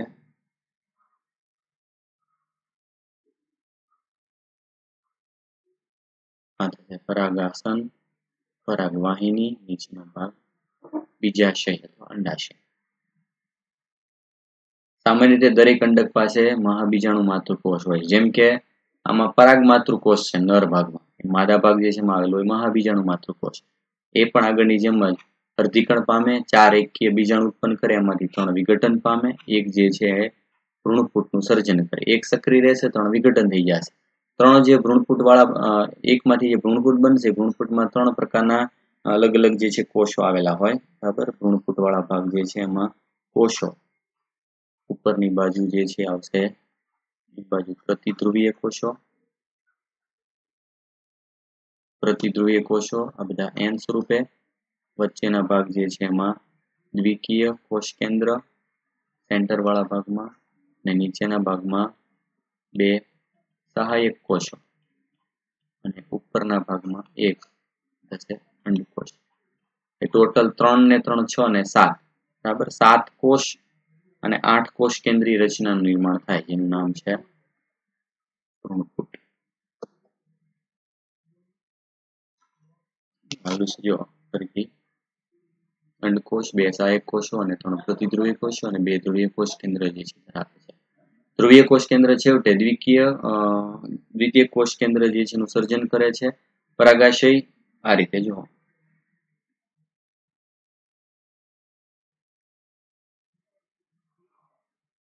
ત્રણ પ્રતિધ્રુવીય કોષો, દ્વિકીય કોષ કેન્દ્ર, બે કોષ કેન્દ્ર હોય, બે સહાયક કોષો અને અંડકોષ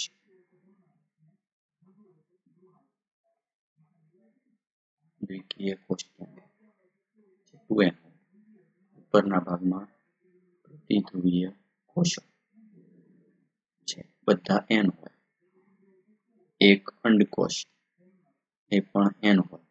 નીચેના બે સહાયક કોષ એ પણ એન હવે આમાં ફલન થશે. દ્વિકીય કોષ કેન્દ્ર નરજન્યુ દ્વારા ફલન થાય. નરજન્યુ ફરીથી એન બીજો એક નરજન્યુ જે છે, દાખલ થશે અંડકોષ ની સાથે બંને ફલન થશે. ટુ એન પ્લસ એન એટલે રચના બનશે ત્રિકીય. પ્રાથમિક ભૃણકોષ કોષ પીઈસી પ્રાઇમરી એન્ડોસ્પર્મ સેલ આમાં નિર્માણ થશે દ્વિકીય ફલિતાંડ અથવા યુગ્મનજ એક ત્રિકીય રચના બનશે થ્રી એન એક જે છે દ્વિકીય રચના બનશે. ત્રિકીય રચનામાંથી ભવિષ્યમાં નિર્માણ થશે ભ્રૂણ કોષ. ભ્રૂણને પોષણ પૂરું પાડતી રચના કેવી થશે? ત્રિકીય. અને ફલિતાંડમાંથી ભવિષ્યમાં બનશે ભ્રૂણ. એ ભ્રૂણ થશે ટુ એ દ્વિકીય રચના. બરાબર? સૌથી પહેલા જે છે ભ્રૂણ કોષ બને. બરાબર? કારણ કે એને ભ્રૂણને પોષણ પૂરું પાડવાનું છે. પછીના ભાગ જે છે નિર્માણ થશે ભ્રૂણ. બરાબર? એટલે યાદ રાખવાનું છે ના તફાવત પણ છે. પૂછાય છે આવૃત અને અનાવૃતમાં. આવૃત, અનાવૃત. આમાં ભ્રૂણકોષ જે છે, ત્રિકીય હોય, આમાં ભ્રૂણપોષ જે છે, એકકીય હોય. બંનેમાં ભ્રૂણની રચના ટુ એન, આમાં પણ ભ્રૂણની રચના ટુ એન. એટલે આ તફાવત છે. અનાવૃત પૂર્વ ફલિત હોય, ફલન પહેલા નિર્માણ થાય આ જે છે એમાં પશ્વ ફલિત હોય. ફલન થયા પછી નિર્માણ આમાં એક સાથે બે ભાગનું નિર્માણ થાય એટલે આને નામ આપ્યું છે બેવડું ફલન અનાવૃત બિધારીમાં એવો ભાગ જે છે નથી એટલે આમાં નામ આપ્યું એકવડું ફલન ક્વેશ્ચન પૂછાય, બેવડું ફલન કોની ખાસિયત છે? તો આવૃત બિધારી અનાવૃત બિધારીમાં જોવા મળે એકવડું ફલન, કારણ કે એમાં ખાલી એક જ ફલન થાય અને ફલનથી ભ્રૂણ જે છે નિર્માણ થાય. ભ્રૂણ પોષ વહી એક જે છે એની પ્લોઈડી ધરાવે છે. બરાબર? કારણ કે ફલન થયા વગર એમનું પહેલા નિર્માણ થઈ ગયું. આ બધો ભાગ જે છે આપણે એક સાથે એક આકૃતિ દ્વારા સમજી લેજો.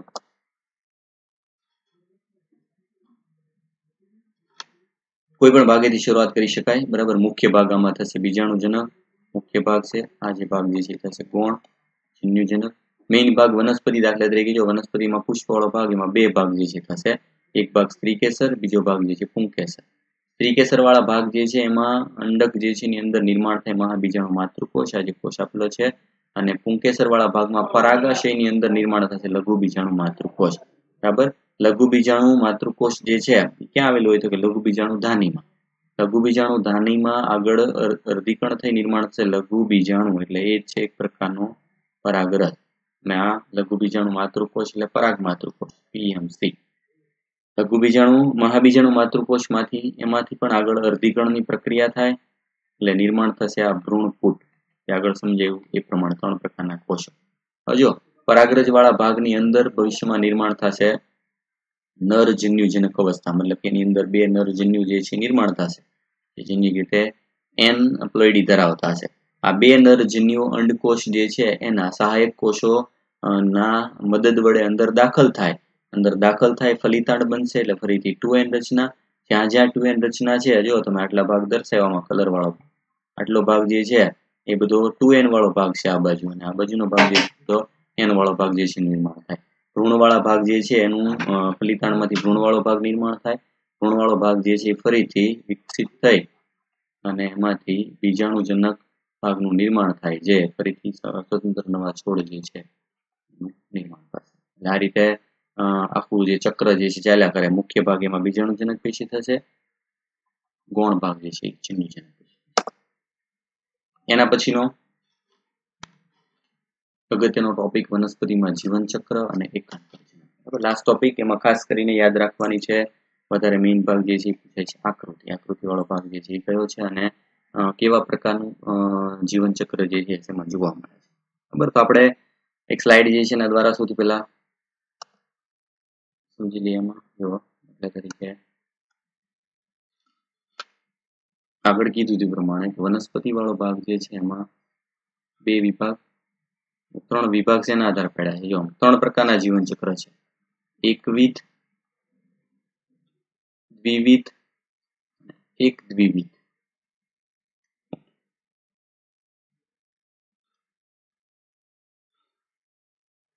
આવી રીતે લઈ લઈએ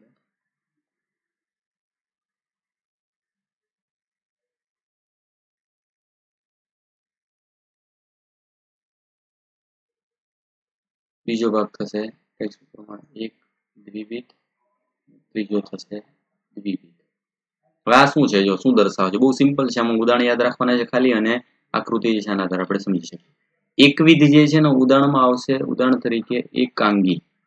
બીજો પ્રકાર જે છે એ થશે દ્વિઅંગી, ત્રિઅંગી. આ થશે સપુષ્પી એકવિધ નો મતલબ શું થશે? જો, તો વનસ્પતિ જે છે એમાં વધારે સમયગાળો જે છે એ એન તબક્કો ચાલે. ઓછો સમયગાળો ટુ એન તબક્કો ચાલે. એન વધુ ચાલે છે એનો મતલબ એન જે છે એનો મુખ્ય તબક્કો થશે. ટુ એન ઓછો સમયગાળો ચાલે એટલે એનો ગૌણ તબક્કો થશે. અને મુખ્ય શરીર દેહ જે છે એ જન્યુજનક તબક્કો છે. એટલે મુખ્ય થશે જન્યુજનક તબક્કો, ગૌણ જે છે એ થશે બીજાણુજનક તબક્કો. આવી વનસ્પતિ બધી જે છે એકાંગી એટલે કે એમાં લીલ બધી ઉદાહરણ જે છે આવશે અપવાદ સિવાય, એ બધામાં એકવીસ જીવન ચક્ર જે છે જોવા મળે. આકૃતિમાં જોશો તો ખ્યાલ આવશે. જો ટુ એન વાળો ભાગ જે છે એ માત્ર બહુ ટૂંકા ગાળા માટે છે. એન વાળો ભાગ જે છે એનો મુખ્ય દેહ છે, એની સાથે જોડાયેલો ભાગ જે છે ટુ એન નિર્માણ થાય. એવી જ રીતે બીજો પ્રકાર થશે એક દ્વિવિધ. એક દ્વિવિધ જે છે એમાં તમે આકૃતિ જોશો તો ખ્યાલ આવશે. એ જો બંને ભાગ જે છે દર્શાવે છે. એમાં એન વાળો ભાગ અને ટુ એન વાળો ભાગ. બેનો સમયગાળો સરખો છે. એન વાળો ભાગ અને ટુ એન વાળો ભાગ બેનો સમયગાળો જે છે સરખો છે. તો એને એક દ્વિવિધ વાળા ભાગ જે છે એનો મતલબ શું થાય જો? એન ટુ એન તો જેમાં દ્વિઅંગી લઈએ, બરાબર? દ્વિઅંગીમાં એન તબક્કો જે છે મુખ્ય છે અને ટુ એન તબક્કો જે છે ગૌણ છે. પણ બેનો સમયગાળો જે છે સરખો છે, એટલે એમાં એકવિધ પણ ન ગણાય, દ્વિવિધ પણ ન કહેવાય. એટલે પ્રકાર આપી દીધો, એક દ્વિવિધ. ઉદાહરણ થશે એમાં દ્વિઅંગી. એવી જ રીતે ત્રિઅંગી વાળા ભાગ જે છે, એમાં આ વસ્તુ બદલાઈ જાય. ત્રિઅંગી વાળો ભાગ જે છે, એમાં ત્રિઅંગીમાં મુખ્ય તબક્કો જે છે એ થઈ જશે ટુ એન. અને ગૌણ તબક્કો જે છે થઈ જશે એન. પણ બેનો સમયગાળો જે છે સરખો છે. બરાબર? બેના જીવન ચક્રનો એટલે એને નામ આપ્યું એક દ્વિવિધ. બરાબર? જ્યારે એની સરખામણીમાં દ્વિવિધ જે છે, ઉદાહરણ તમે જોવામાં તો ટુ એનનો તબક્કો સમયગાળો ખૂબ વધારે છે. અને એન તબક્કો જે છે ખૂબ ઓછા સમયગાળા માટે. માત્ર ખાલી પ્રજન સમયગાળા જે દરમિયાન જન્યુનું નિર્માણ કરવા પૂરતો સીમિત છે. એટલે આખી આકૃતિ પ્રમાણે સમજીએ તો આ રીતે થશે. વધારે સમયગાળો ટુ એન ઓછો સમયગાળો એન એન ઓછો છે, એ થશે જન્યુજનક આ થશે બીજાણુજનક. બીજાણુજનક વાળો વધારે સમય ચાલે છે એટલે એ થશે મુખ્ય તબક્કો, આ થશે કોણ તબક્કો? ઉદાહરણ કયા તો સપુષ્પ મતલબ અનાવૃત ને આવૃત બીજધારી વનસ્પતિ. બરાબર? આ બધામાં આકૃતિ જે છે યાદ રાખવાની છે અને બધામાં સાથે ખાસ આ લાસ્ટ ટોપિક બધા અપવાદ છે, બરાબર? જેમ કે લીલની પ્રજાતિ એકવી જીવનચક્ર ધરાવે, પણ આપું છે કેટલીક લીલ એક્ટોકાર્પસ પોલિસાઇફોલિયા અને કેટલીક મોટી દરિયાઈ ઘાસ જે છે, વનસ્પતિઓ એક દ્વિવિધ જીવનચક્ર ધરાવે છે. ખાસ યાદ રાખવાનું છે, બધે બધી લીલમાં એકવિધ જીવનચક્ર હોતું નથી, એક દ્વિવિધ પણ જોવા મળે. ઉદાહરણ તરીકે એક્ટોકાર્પસ પોલિસાઇફોનિયા અને કેલ્પ જેવી વનસ્પતિ છે, બરાબર? અને સાથે સાથે દ્વિવિધ જીવનચક્ર જે છે એ બધી સપુષ્પી વનસ્પતિ જે છે એમાં જોવા મળે. પણ અપવાદ તરીકે ફ્યુક્સ લીલ.